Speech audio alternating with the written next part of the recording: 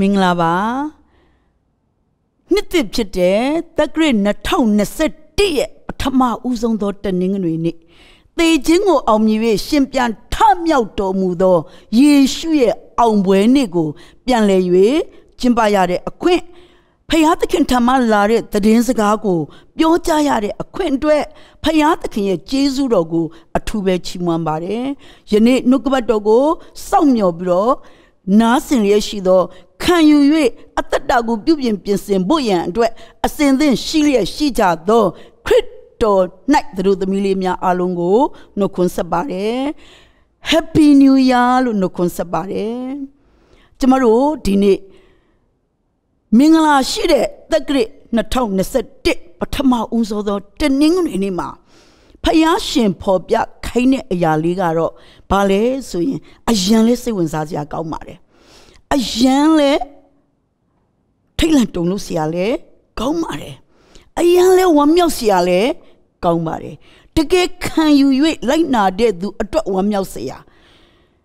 လက်မခံပဲညင်းပယ်သောသူအတွက်တော့ဝမ်းနေကြေကွဲစရာဖြစ်မှာဖြစ်ပါတယ်။ဒါကြောင့်ဒီနှုတ်ကပတ်တော်လေးကိုကျွန်တော်တို့သေးသေးချာချာနှလုံးသားတစ်ခေါက်ကိုဖွင့်ပြီးတော့မှခံယူကြရအောင်။ ကျွန်တော်တို့ဖတ်ရမယ့်ကြံချက်ကလေးကတော့ရှင်မာကုခရစ်ဝင် အခန်းကြီး1အငယ်21ကနေပြီးတော့မှ22ဖြစ်ပါတယ်။ရှင်မာကုခရစ်ဝင် အခန်းကြီး2အငယ်21မှ22ပဲဖြစ်ပါတယ်။တွေ့ရင်အတူတူဖတ်ကြရအောင်။အဝိဟောင်းကိုအထည်သစ်နှင့်ဖာလေးမရှိထို့သောဖာလျင်ဖာသောအထည်သစ်သည်အဝိဟောင်းကိုစား၍အပေါက်ကျတတ်၏၎ င်းနီဟောင်းသောတရေဘူး၌အသစ်သောစပြည့်ရည်ကိုထဲ့လေမရှိ ထို့သောထဲ့လျင်အသစ်သောစပြည့်ရည်သည်တရေဘူးကိုစုပ်ခွဲသဖြင့်စပြည့်ရည်သည်ယို၍တရေဘူးလည်းပျက်စီးတတ်၏အသစ်သောစပြည့်ရည်ကိုအသစ်သောတရေဘူး၌ထဲရသည်ဟု မိန်တော်မူ၏ဖတ်ရှုသွားတဲ့ဘုရားသခင်ရဲ့နှုတ်ကပတ်တော်အပေါ်မှာကြားနာတော်သူအရောက်တိုင်းဘုရားသခင်ကောင်းချီးပေးပါစေအဝိဟောင်းဆိုတာစပြည့်ရည်ဘူးဟောင်းဆိုတာဘာကိုဆိုလိုတယ်လဲဆိုလို့ရှိရင်ကျမတို့ရဲ့အသက်တာဟောင်းအမိဝမ်ပိုက်ကတဲ့မှာကတဲ့ကမိဘကိုယ်တိုင်လုတ်ခဲ့တဲ့ဒူးစရိုက်တွေနဲ့ကျွန်တော်ကျမတို့မွေးဖွားကြီးပြင်းလာတဲ့အခါမှာကျွန်တော်ကျမတို့ဒူးစရိုက် ကျမတို့ကျမတို့လုတ်တဲ့ဒူးစရိုက်တွေနဲ့ပြေဝနေသောအသက်တာအဟောင်းဒူးစရိုက်နဲ့ပြေဝနေသောအသက်တာအဟောင်းပြီးတော့မှဖျားမဲ့တရားမဲ့ဖျားကိုမသိတဲ့ဘဝဖះကိုသိပါတော့လေဖះသခင်အလိုတော်အတိုင်းအသက်မရှင်တဲ့ဘဝပြီးတော့မှစိုးညစ်တဲ့နှလုံးသားရှိတဲ့အသက်တာဟောင်းကိုကျမ်းစာထဲမှာ အဝိဟောင်းနဲ့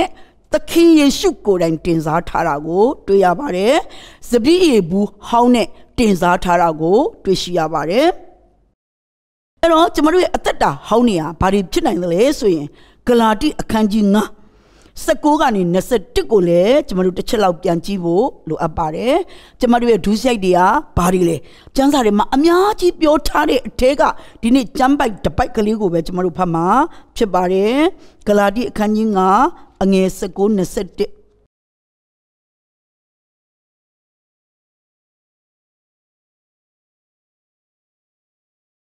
ဂလာတိခန်းကြီးကအငယ်19 21ကိုကျမတို့ဖတ်ပါမယ်ဇာတိပဂတိအကျင့်တို့သည်ထင်ရှားကြ၏အဲ့ဒီဇာတိပဂတိအကျင့်ဆိုတာအဝိဟောင်းနော်ဇပြည့်ရဘူးဟောင်းမဲ့ဖြစ်ပါတယ်ထိုအကျင့်တို့မူကားသူ့မယားကိုပြစ်မှားခြင်းမတရားသောမေထုံ၌မိဝဲခြင်းညဉ့်ညူးစွာကျင့်ခြင်းကိလေသာလွန်ကျူးခြင်းရုပ်ထု ကိုးကွယ်ခြင်းသူတစ်ပါးကို ပြုစားခြင်းရန်ညိုးဖွဲ့ခြင်းရန်တွေ့ခြင်းဂုံပြိုင်ခြင်းအမျက်ထွက်ခြင်းညှင်းခုန်ခြင်းအချင်းချင်းကွဲပြားခြင်းသင်ခွဲခြင်းသူ့အကျိုးကိုညူစုခြင်းလူအသက်ကိုတတ်ခြင်းရစ်မျိုးတောက်ကျူးခြင်းပွဲလုပ်ခြင်းအဲ့ဒီအပြစ်တွေဟာတဲ့ နော်ဇာတိပဂရိအကျင့်နေဖြစ်ကြတယ်လို့ပြောထားပါတယ်အဲ့ဒီဇာတိပဂရိအကျင့်သည်ကျမတို့ရဲ့အဝိဟောင်းစပြည့်ရဘူးဟောင်းပဲဖြစ်ပါတယ်ဒါကြောင့်ကျွန်တော်ကျမတို့အသက်တာကိုပြန်လဲဆန်းစစ်လိုက်တဲ့အခါမှာမိဘဘိုးဘွားမှစ၍ကျွန်တော်ကျမတို့လက်ထက်အထိသားစင်မြေးဆက်40မှာသူ့မယားကိုပြစ်မှားခြင်းရှိပါသလားသူ့မယားကိုပြစ်မှားတယ်လို့ပြောတဲ့အခါမှာသူ့လင်လဲပါတယ်သူ့ရီးစားလဲပါတယ် ဆိုတော့ဒီယောက်ျားလေးတယောက်ဟာဒီမိန်းကလေးနဲ့သမီးစားဖြစ်နေပြီ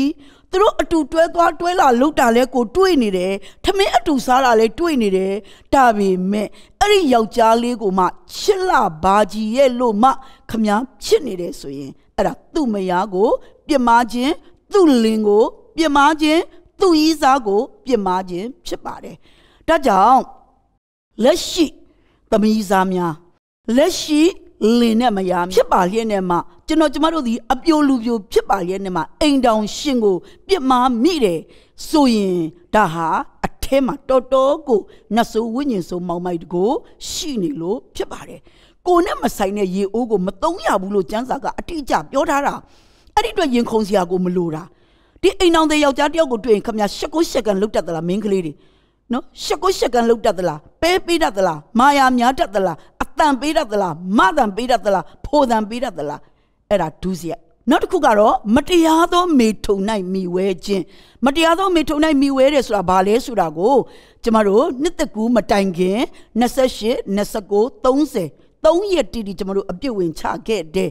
နော်ဟုတ်ပြီမတရားသောမိထုံဆိုတာဘာလဲအကျဲချက်ပြီးမပြောတော့ဘူးဒါပေမဲ့ကိုလင်ကိုမယားမဟုတ်ဘဲနဲ့အတူနေခြင်းအတူအိတ်ခြင်းအတူသွားလာခြင်းစိတ်ကူးယဉ်ခြင်း အလုံးဟာမတရားသောမိထုံမိဝဲခြင်းဖြစ်တယ်ခန္ဓာကိုယ်နဲ့အိပ်ရတဲ့မှာသွားအိတ်တာတောင်မဟုတ်ဘဲနဲ့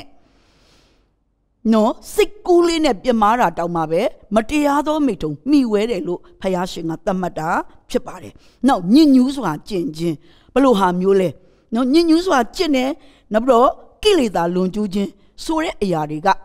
စိတ်ကူးနဲ့အဲပြမားတယ်အိမ်မှာ ကိုလုံးဒီပုံနေရုပ်ပုံနေချိတ်တက်တယ်သွားတိုက်တဲ့သဘုတ်တန်ငါတောင်ကိုလုံးဒီမိမပုံဖြစ်နေတယ်နော်အဝတ်အစားတွေမှာနော်ဒီလိုမျိုးညှဉ်းညူးတဲ့ပုံတွေရှိတယ်အိမ်မှာကိုကြည့်တဲ့စာအုပ်ကြည့်တဲ့ဗီဒီယိုရုပ်ရှင်တွေဟာညဉ့်ညူးတဲ့ရုပ်ပုံတွေရုပ်ရှင်တွေဗီဒီယိုတွေဖြစ်နေတတ်တယ်ဒါတွေကိုသင်ကြည့်ရှုတယ်သင်ဒါတွေကိုစိတ်ဝင်စားတယ်ဆိုရင်ညဉ့်ညူးစွာကျင့်ခြင်းဖြစ်တယ်နောက်ကိလေသာလွန်ကျူးခြင်းကိုမိမနဲ့အာမယာလို့ပြည့်တစားမနဲ့မှီဝဲတယ်ထိုအရာမျိုးကလည်းကိလေသာလွန်ကျူးခြင်းဖြစ်တယ်။နောက်ရုပ်ထုကိုးကွယ်ခြင်းလူလက်နဲ့လုပ်တဲ့အရာလူလူချင်းဖျားမဟုတ်တဲ့နတ်ဆိုးထိုအရာများကိုကျမတို့ပူဇော်တယ်ကြော့တယ်ကိုးကွယ်တယ်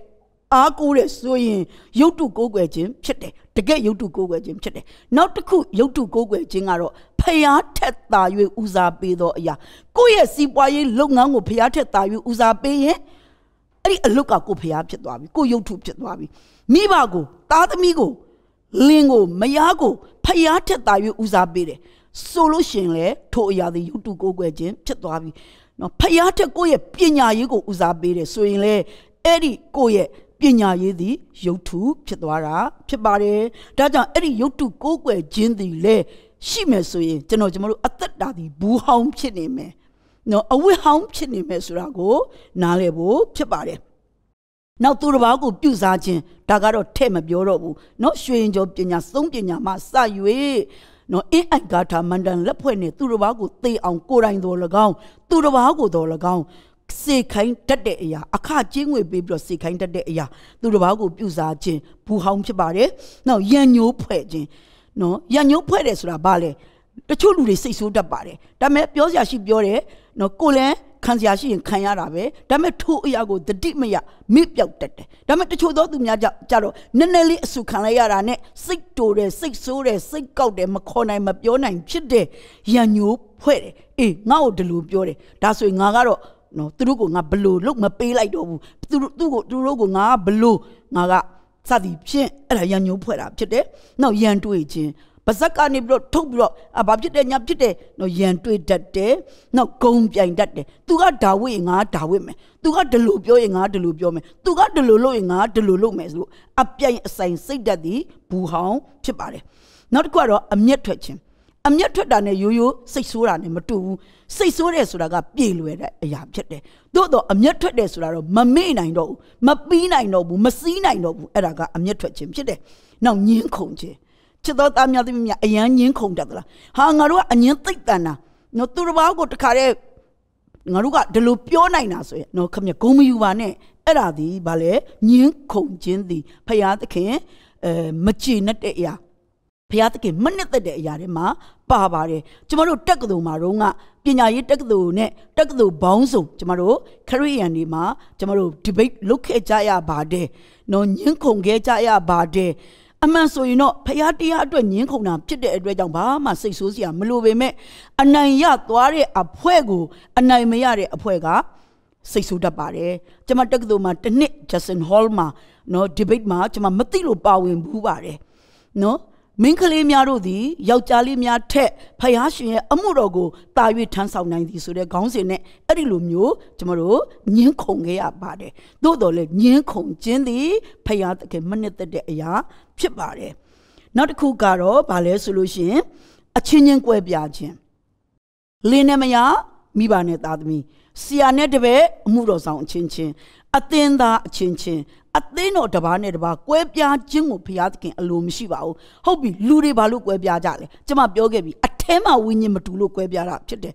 နောက်တစ်ခုယုံကြည်ချက်ချင်းခံယူချက်ချင်းမတူရင်လည်းကွဲပြားမှာဖြစ်တယ်နော်ဒါကြောင့်သင်ခွဲခြင်းသည်ရှိတဲ့နေရာမှာရှိရပါတယ်ဒါပေမဲ့တစ်ချိန်လုံးဟိုအသင်းတော်မှာသွားလဲကိုကသင်ခွဲတယ် နော်ဆရာနဲ့ဆရာကတော်ကိုသင်ခွဲတယ်ဆရာနဲ့သင်ထောက်ကိုသင်ခွဲတယ်နော်အမှုတော်ဆောင်ချင်းချင်းကိုစကားနဲ့သင်ခွဲတယ်ကိုဆရာပေါ်မှာမချစ်အောင်အမျိုးမျိုးပြောတယ်အချင်းချင်းမချစ်အောင်အမျိုးမျိုးပြောတယ်အပေါ်မှာတစ်မျိုးအောက်မှာတစ်မျိုးကိုယ်ရမှာတစ်မျိုးရှေ့မှာတစ်မျိုးအဲ့ဒီလိုသင်ခွဲခြင်းသည်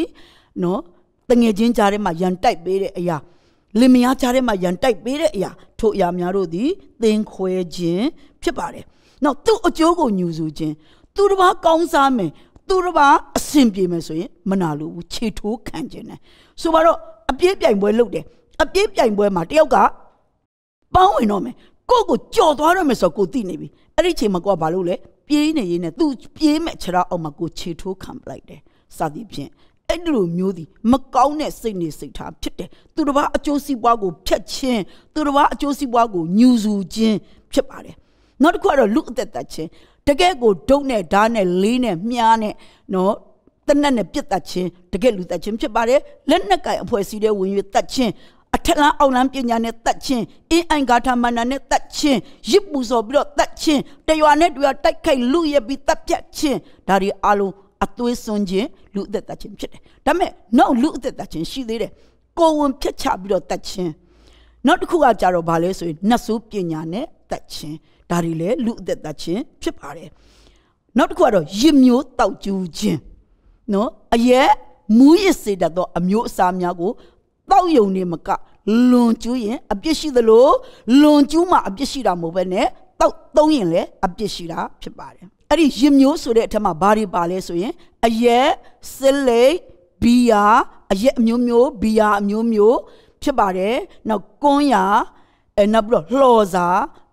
နော်ဘိန်းဖြူဘိန်းမဲမက်သဒုံးမှစာ၍နော်မူးရစေတတ်သောအရာများ WY စေပြာများယာမစိတ်ကြွစေများအာလုံတို့သည်နော်ရစ်မျိုးမူးရစေတဲ့အမျိုးအစားထဲမှာပါဝင်ပါတယ်ဒါကြောင့်တောက်သောသူမှာအပြစ်ရှိသလိုရောင်းဝယ်သောသူမှာလည်းအပြစ်ရှိပြီးတော့မှကျမတို့အဲဖခင်သခင်ကအဲ့ဒီအပြစ်အတွက်ကိုတရားစီရင်တာဖြစ်ပါတယ်အဆုံးမတာဖြစ်ပါတယ်နောက်ဆုံးတစ်ခုကတော့ပွဲလုပ်ခြင်း ကျမအမြဲတမ်းပြောတယ်ခရစ်မတ်ပွဲနှစ်တကူပွဲနော်ခရိယန်ရဲ့နှစ်တကူကရင်ရဲ့နှစ်တကူလူမျိုးတိုင်းရဲ့နှစ်တကူဟောလဝင်းပွဲမှာစာ၍ပွဲမှန်သမျှအလုံးသည်တန့်ရှင်းသောဝိညာဉ်တော်ဖျားစင်းကြွလာတဲ့နေရာမဟုတ်ရင်ပွဲလုပ်ခြင်းဖြစ်တယ်ချီးမွမ်းခြင်းကိုးကွယ်ခြင်းပွဲတော်လို့နော် praise festival လို့ပြောပြီးတော့လုပ်တဲ့အခါမှာ ကျမတို့အဆိုတော်များသာတခြင်းဆိုသွားပြီးတော့တကက်ဖရားမျက်မှောက်တော်ရောက်အောင်ချီးမွမ်းခြင်းကိုးကွယ်ခြင်းအပြင်ခေါ်ဆောင်မသွားရင်ထိုအရာသည်ပွဲတက်တက်ပဲဖြစ်ပါတယ်တခြင်းဆိုကောင်းလို့ဖရားမျက်မှောက်တော်ရောက်တာမဟုတ်ဘူးအတန်ကောင်းလို့ဖရားမျက်မှောက်တော်ရောက်တာမဟုတ်ဘူးတန်ရှင်သောဝိညာဉ်တော်ပါမှဖယားမျက်မှောက်တော်ကိုရောက်ရှိတာဖြစ်တယ်။ဒါကြောင့်ဖယားမျက်မှောက်ကိုမခံစားရတော့တန်ရှင်သောဝိညာဉ်တော်စင်ကြွခြင်းမရှိသော ပွဲမှန်သမျှမွေးနေ့ပွဲယာဒူးတိုးတဲ့ပွဲနော်မြည်သည့်ပွဲမျိုးမဆိုး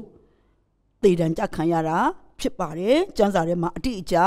သေပစ်ကိုခံထိုက်သည်လို့ကိုဖော်ပြထားတာဖြစ်တယ်ဟုတ်ပြီဒါကိုကျွန်မအချင်းချုပ်ပဲပြောတာဖြစ်ပါတယ်အဲ့တော့ဟုတ်ပါပြီကိုအထဲမှာအဲ့ဒီဒူးရိုက်တွေရှိတယ်အဲ့ဒီနတ်ဆိုးတွေရှိတယ်နော်မူရစေဝါတောက်သုံးစီတာဘာလို့လဲမူရစေဝါကြိုက်တတ်တဲ့နတ်ဆိုး ကိုကတခါမှမတောက်သုံးဘူးဒါပေမဲ့တောက်သုံးဘူးတဲ့လူနဲ့အတူယဉ်နီးစွာနေတယ်သူ့စလိနံကိုကိုကနေတိုင်းရှူတယ်သူ့ရဲ့ကိုရနံကိုနေတိုင်းရှူတယ်အဲ့ဒီခါမှာအဲ့ဒီသူ့အထက်ကကိုရကြိုက်တတ်တဲ့နတ်ဆိုးကကို့အထက်ကိုကူးလာတယ်သူ့အထက်ကစလိကြိုက်တတ်တဲ့နတ်ဆိုးကကို့အထက်ကိုကူးလာတယ်တစုံတယောက်တော့သူကမတရားသောမိထုံပြူတာသိဝါသနာပါတယ်ရည်စားလဲများတယ် မိမလည်းလိုက်စားတယ်ဟုတ်ပြီသူ့နဲ့ကွာယင်းနီးစွာပေါင်းလိုက်တဲ့အခါမှာသူ့အထက်ကမိမလိုက်စားတတ်တဲ့နတ်ဆိုးရည်စားများသောနတ်ဆိုးဒီကိုအထက်ပါဝင်လာတယ်ကျမအမျိုးသားအမြဲတမ်းပြောလို့ရှိတဲ့စကားလေးတစ်ခုရှိတယ်နော်တင်ဘလို့လူစားလဲတင်ဘလို့လူစားလဲတင်ပေါင်းတဲ့လူကိုကြည့်တင်ပေါင်းတဲ့လူရဲ့စိတ်နေစိတ်ထားသည်တင်ရဲ့စိတ်နေစိတ်ထားဘာဖြစ်လို့လဲဝိညာဉ်ချင်းမတွင်ပေါင်းလို့မရဘူးအသွင်မတူအိမ်သူမဖြစ်နော်ဝိညာဉ်ချင်းမတူ ရေရှည်ပေါင်းလို့မရဘူးနော်ဒီဝိညာဉ်ချင်းမတူရင်ခြေလန်းအတူတူသွားလို့မရဘူးခြေလန်းအတူတူသွားလို့ရနေတယ်ဆိုတာဘာဖြစ်လို့လဲဝိညာဉ်ချင်းတူလို့သူ့ထဲမှာဘာဝိညာဉ်ဆိုရှိလဲကိုယ်ထဲမှာလည်းအဲ့ဒီဝိညာဉ်ဆိုရှိတယ်ဒါကြောင့်ချစ်တော်သားများသမီးများမိဘများသူ့အထက်ကနတ်ဆုကိုယ်ထဲမှာကူတယ်ကိုယ်ထဲမှာရှိတဲ့နတ်ဆုသူ့ထဲကိုကူတယ်အဲ့ဒီခါမှာအဲ့ဒီနဆိုဝိညာဉ်ဇိုးတို့သည်ကျွန်တော်ကျမတို့အသက်တာထဲမှာကြီးစိုးထားတဲ့အခါမှာဘာတွေဖြစ်တတ်လဲ တန်ရှင်သောဝိညာဉ်တော်ကျမတို့ဘောမှာတွန်လောင်းပေးလို့မရဘူးကျမတို့ရဲ့အဓိကကြီးမှန်းချက်ကပါတယ်ဒီတက္ကရာ2021မှာတချို့သောသူများကကြွေးကြော်ကြတယ်တက္ကရာ2021သည်ကောင်းကြီးခံစားရသောနှစ်အောင်မြင်သောနှစ်တထေးကြွယ်နှစ်ကြွေးကြော်ခဲ့တာဘလောက်များနေပြီလဲမြန်မာနိုင်ငံမှာတချို့သောနိုင်ငံခြားဆရာများအဖြစ်မြန်မာနိုင်ငံမှာအဲ့ဒီလိုကြွေးကြော်တဲ့အကျင့်တွေရှိလာတယ်။ဝန်ခံတဲ့အကျင့်တွေရှိလာတယ်။ ယုံကြည်ခြင်းနဲ့ဝန်ခံတာကောင်းတော်လေကိုယ့်ရဲ့အသက်တာခုနပြောတဲ့ဇပြည့်ရည်ဘူးဟောင်းကိုဘူးသစ်ဖြစ်အောင်မလုပ်ဖဲနဲ့တော့ခမည်းသည်တသေးတကြွယ်နှစ်လို့အော်ဟစ်နေတော့လေခမည်းတသေးလည်းဖြစ်မလာသလိုတကြွယ်လည်းဖြစ်လာမှာမဟုတ်ဘူးအောင်မြင်သောနှစ်လို့ကြွေးကြော်တော့လေအောင်မြင်သောနှစ်ဖြစ်မလာခဲ့တာဘယ်နှစ်နှစ်ရှိပြီလဲကျမ်းမာသောနှစ်ဖြစ်တယ်လို့ပြောပြီးတော့ဆေးတောက်နေရတာဘယ်လောက်ကြာနေပြီလဲဟုတ်ပြီနော်ဘာဖြစ်လို့လဲအဲ့လိုကြွေးကြော်တာဝန်ခံတာမကောင်းဘူးလားသိကောင်းတယ် ဒါပေမဲ့လေအတွင်းပိုင်းဆိုင်ရာကိုမပြုတ်ပြင်ပဲနဲ့ဗဇက်ကတက်တက်ကြွေးကြော်နေုံနဲ့တော့ဘာမှဖြစ်မလာဘူးဆိုတာကိုလေယနေ့ကဘာတဝမ်းလုံးကယုံကြည်သူခရိယန်တွေကိုသိစေခြင်းနဲ့နှုတ်မရင်ခမည်းသည်ကြွေးတာကြွေးကြော်နေရတယ်မောသေးတော့မယ်ဘာမှဖြစ်မလာတဲ့အတွက်ကြောင့်ဖြစ်ပါတယ်ဒါကြောင့်အဝတ်ဟောင်းကိုအဝတ်သစ်နဲ့ဖာလေမရှိဘူး အဝတ်ဟောင်းကိုအဝတ်သစ်နဲ့ဖာလိုက်တဲ့ခါမှာအဲ့ဒီအဝတ်သစ်ကအဝတ်ဟောင်းကိုစားပြီးတော့အပေါက်ကကျေသွားတတ်တယ်နော်အဲ့ဒီအဝတ်စားကပြန်ပြီးတော့ဝတ်လို့သုံးလို့မရတော့ဘူးအဝတ်ဟောင်းသည်ကျေသွားတယ်လို့စုပ်သွားတယ်လို့အဝတ်သစ်လည်းအလကားကုန်တာဖြစ်တယ်အဲ့ဒီလိုပဲနော်စပြည့်ရဘူးဟောင်းစပြည့်ရဘူးဟောင်းလို့ပြောတဲ့အခါမှာစပြည့်ရထဲ့နေကြဘူးတို့တော့လေစပြည့်ရဘူးဟောင်းဒီ ဒီစပြည့်ရအသစ်ဆိုတဲ့စပြည့်ရအသစ်ကိုထည့်လိုက်တဲ့အခါမှာဘူးကစုပ်ကွဲသွားတတ်တယ်ကျမတို့ရှိမှာအဲဒီစကိုင်းတိုင်းကလေးမျိုးကဆီယာမတယောက်အန်တီတယောက်ကကျမတို့ကိုအမြဲတမ်းစပြည့်ရပေးလူတယ်နောက်ပြီးတော့ဆမချစ်ကူရဲ့အဖေကကျမတို့ကိုစပြည့်ရအစ်စ်တကက်ကိုစပြည့်ရအစ်စ်ကိုပေးလူတယ်အဲ့ဒီခါမှာကျမတို့ဘုံကြီးဘုံငယ်နဲ့ထားတယ်ဟုတ်ပြီကုံသွားတယ်နောက်ထပ်စပီးရောက်လာတယ်အဲ့ထဲမှာထည့်တယ်ဟောကုံသွားတယ်နောက်ထပ်စပီးရောက်လာတယ်အဲ့ဒီဘုံထဲမှာထည့်တယ် ကြာလာတဲ့အခါမှာကျမတို့အိမ်ဟောင်းမှာတော့ပေါ့နော်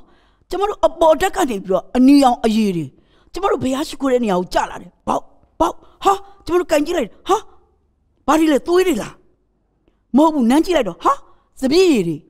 ဘာဖြစ်လို့လဲကဲအပေါ်ပြေးတက်ကြည့်စမ်းကြည့်တိုက်တော့ ဒီစပြည့်ရဘူးတွေထားတဲ့နေရာကနေပြီးတော့မှ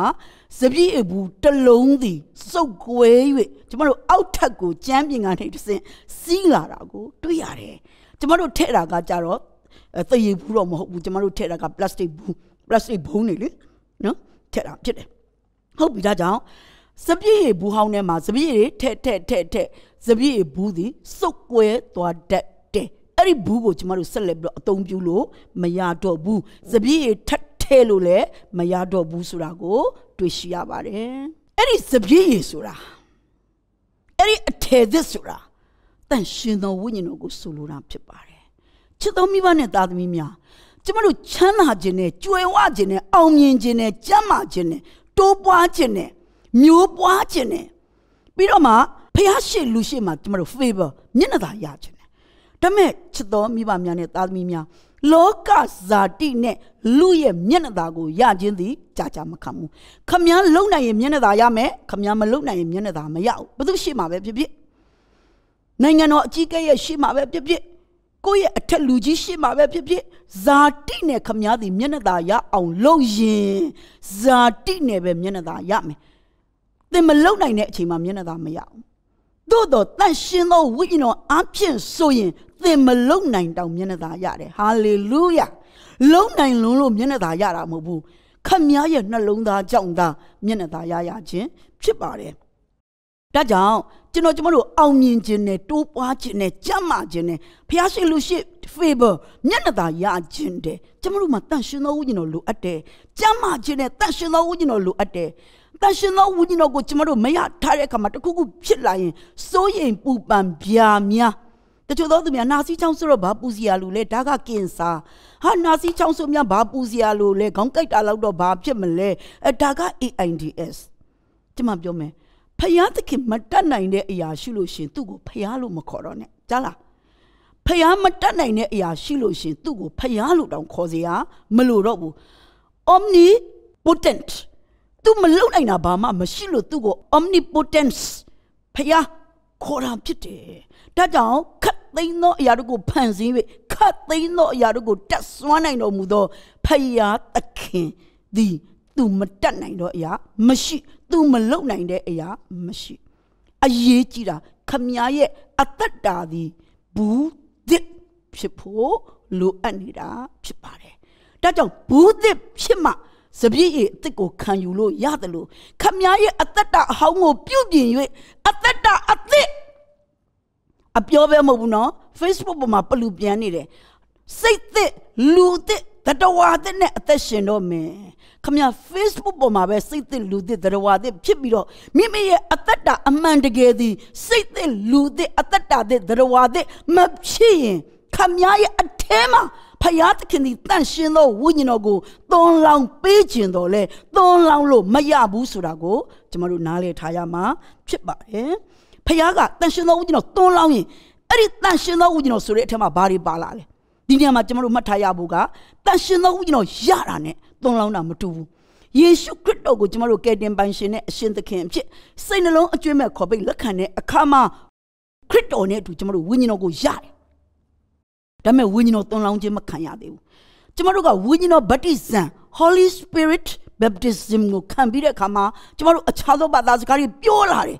ဘသူရဲ့တိုက်တွန်းခြင်းအားပေးခြင်းကြောင့်မဟုတ်ဘဲနဲ့အခြားသောဘာသာစကားများကိုကျမတို့အဲပြောလာတယ်ပြောလာတယ်ပြောလာတယ်ဖယားနဲ့များများဆက်ဆံလာလေလေဖယားနဲ့များများဆက်ဆံယုံတာမကဖယားရှင်နိုင်ငံတော်ကျယ်ဝန်းဖို့ရန်အတွက်ကိုယ့်ရဲ့အသက်တာကိုဖယားရှင်ကိုအကျွေးမဲ့ပေးအပ်ခြင်းနဲ့ဖယားရှင်ရဲ့အမှုတော်မှာတကယ်ထရောက်စွာပါဝင်ခြင်းနဲ့ဆိုရင်ဖယားရှင်ဒီတန်ရှင်သောဝိညာဉ်တော်ကိုသွန်းလောင်းပေးတယ် ကျမတို့အသင်းတော်ဒီ1993ခုနှစ်မှာတည်ထောင်တယ်1996ခုနှစ်မှာတန်ရှင်သောဝိညာဉ်တော်ဒီအရှိအဟုန်နဲ့သွန်းလောင်းလာတာဖြစ်တယ်ကျမကြောင့်မဟုတ်ဘူးကျမရဲ့အမျိုးသားဆရာဦးထွန်းလင်းသည်ဖယားကိုအလွန်ချစ်၍ဖယားကိုယုံကြည်တဲ့နေရာမှာဖယားကိုတရားရာခိုင်နှုန်းသူယုံကြည်တယ်အဲ့ဒီခါမှာဖယားရှင်သည်သူ့ရဲ့ယုံကြည်ခြင်းသူ့ရဲ့နောက်ခံယာဒုဂုံဒရက်တွေအလုံးကိုစွန့်လို့ပြီးတော့ဖယားသခင်အတွက် ထမင်းကိုအငတ်ခံပြီးတော့မှမျက်နှာအငယ်ခံပြီးတော့မှသူများရဲ့စတွေးကွက်ထဲမှာပက်လက်အမျောခံပြီးတော့မှသူသည်အလုတ်ကိုထွက်၍ဖယားရဲ့အမှုတော်ကိုတကုံမြို့သစ်မြောက်ပိုင်းမှာ1993ခုနှစ်မှာအသင်းကိုတော်ကိုတည်ထောင်၍ဖယားအမှုတော်မြတ်ကိုဆောင်ရွက်တဲ့ဧဝံဂေလိကိုလင်မယားနှစ်ယောက်ခြေတိုးအောင်ရှောက်ပြီးတော့ဘွက်တော်တွေထဲမှာနေပူကျဲတဲ့ကြီးထဲမှာနေပူမိုးရွာမရှောင်တကုံမြို့သစ်မြောက်ပိုင်းတကုံမြို့သစ်အရှေ့ပိုင်း တကုံမြို့သစ်တောင်ပိုင်းရွှေပြည်သာလှိုင်သာယာတာမွေဆိုတဲ့နေရာတွေနောက်တန်လျင်နော်နောက်ပြီးတော့ရွှေပြည်သာရွှေလင်ပန်းသဲပြူနော်နောက်ပြီးတော့တန်ရင်မှာလည်းသဲပြူဆိုတဲ့နေရာတွေမှာကျမတို့အေဝင်ကလေးတွေကိုခြေတိုးအောင်ကျမတို့လုပ်ခဲ့တယ်ပင်မစင်းရဲခံပြီးလုပ်ခဲ့တယ်ကျမတို့ကိုဘယ်နိုင်ငံခြားကမှထောက်ပံ့ပါမယ်လို့အာမခံမထားဘူးနိုင်ငံခြားအဖွဲ့အစည်းနဲ့လည်းကျမတို့လက်အောက်ခံလည်းမဟုတ်ဘူးနိုင်ငံခြားအဖွဲ့အစည်းရဲ့ထောက်ပံ့ခြင်းလည်းဒီနေ့အထိမရှိဘူး ပြည်တွင်းမှာလည်းဘသူကမှကျွန်တော်တို့အသင်းတော်ကိုထောက်ပံ့ပါမယ်လို့ဘသူကမှစပွန်ဆာပေးမထားဘူးတချို့သောပုဂ္ဂိုလ်ကြီးများရဲ့နောက်ွယ်မှာစပွန်ဆာတွေရှိကြတယ်အရန်ကောင်းပါတယ်ကျမတို့မှာဘယ်ကုမ္ပဏီရဲ့ထောက်ပံ့မှုမှမရှိဘဲနဲ့တန့်ရှင်သောဝိညာဉ်တော်ကိုပဲအားကိုးပြီးတော့ကျမတို့ဝိညာဉ်တော်ရဲ့သွန်လောင်းခြင်းကိုပဲအားကိုးပြီးတော့လှုပ်ဆောင်ခဲ့တာဟာ1996ခုနှစ်ကနေပြီးတော့အခု2021ဇန်နဝါရီလ3ရက်နေ့အထိဖြစ်ပါတယ်။ ဒါကြောင့်ချစ်တော်မိဘများနဲ့သားသမီးများတန့်ရှင်သောဝိညာဉ်တော်ကိုကျမတို့လိုချင်ကြပါတယ်။ဝိညာဉ်တော်ရှိမှဝိညာဉ်တော်သွန်လောင်းခြင်းရှိမှကျွန်တော်တို့အသက်တာထဲမှာအောင်မြင်ခြင်းတွေကြမ်းမာခြင်းတွေဖခင်ရဲ့မျက်နှာသားတွေတိုးပွားခြင်းတွေများပြားခြင်းတွေအမှုတော်သာသနာအောင်မြင်ခြင်းတွေရှိမယ်။ဒါကြောင့်တန်ရှင်သောဝိညာဉ်တော်ဒီကျွန်တော်တို့အတွက်မရှိမဖြစ်ဝိညာဉ်တော်နောက်မိုးသွန်လောင်းခြင်းကိုယုံကြည်သူတိုင်းနဲ့အသင်းတော်တိုင်းတိုင်းနိုင်ငံအသီးသီးမှာလိုအပ်နေတာဖြစ်ပါတယ်။ ဒါပေမဲ့လေကျမတို့အသက်တာကဘူးဟောင်းဖြစ်နေတယ်ကျမတို့အသက်တာကလူဟောင်းဖြစ်နေတယ်ကျမတို့အသက်တာကအဝတ်ဟောင်းဖြစ်နေတယ်ယေရှုကိုယုံကြည်လက်ခံပါသည်ဆိုတော်လေမိဘဘိုးဘွားမှ၎င်းပါလာတဲ့ဒုစရိုက်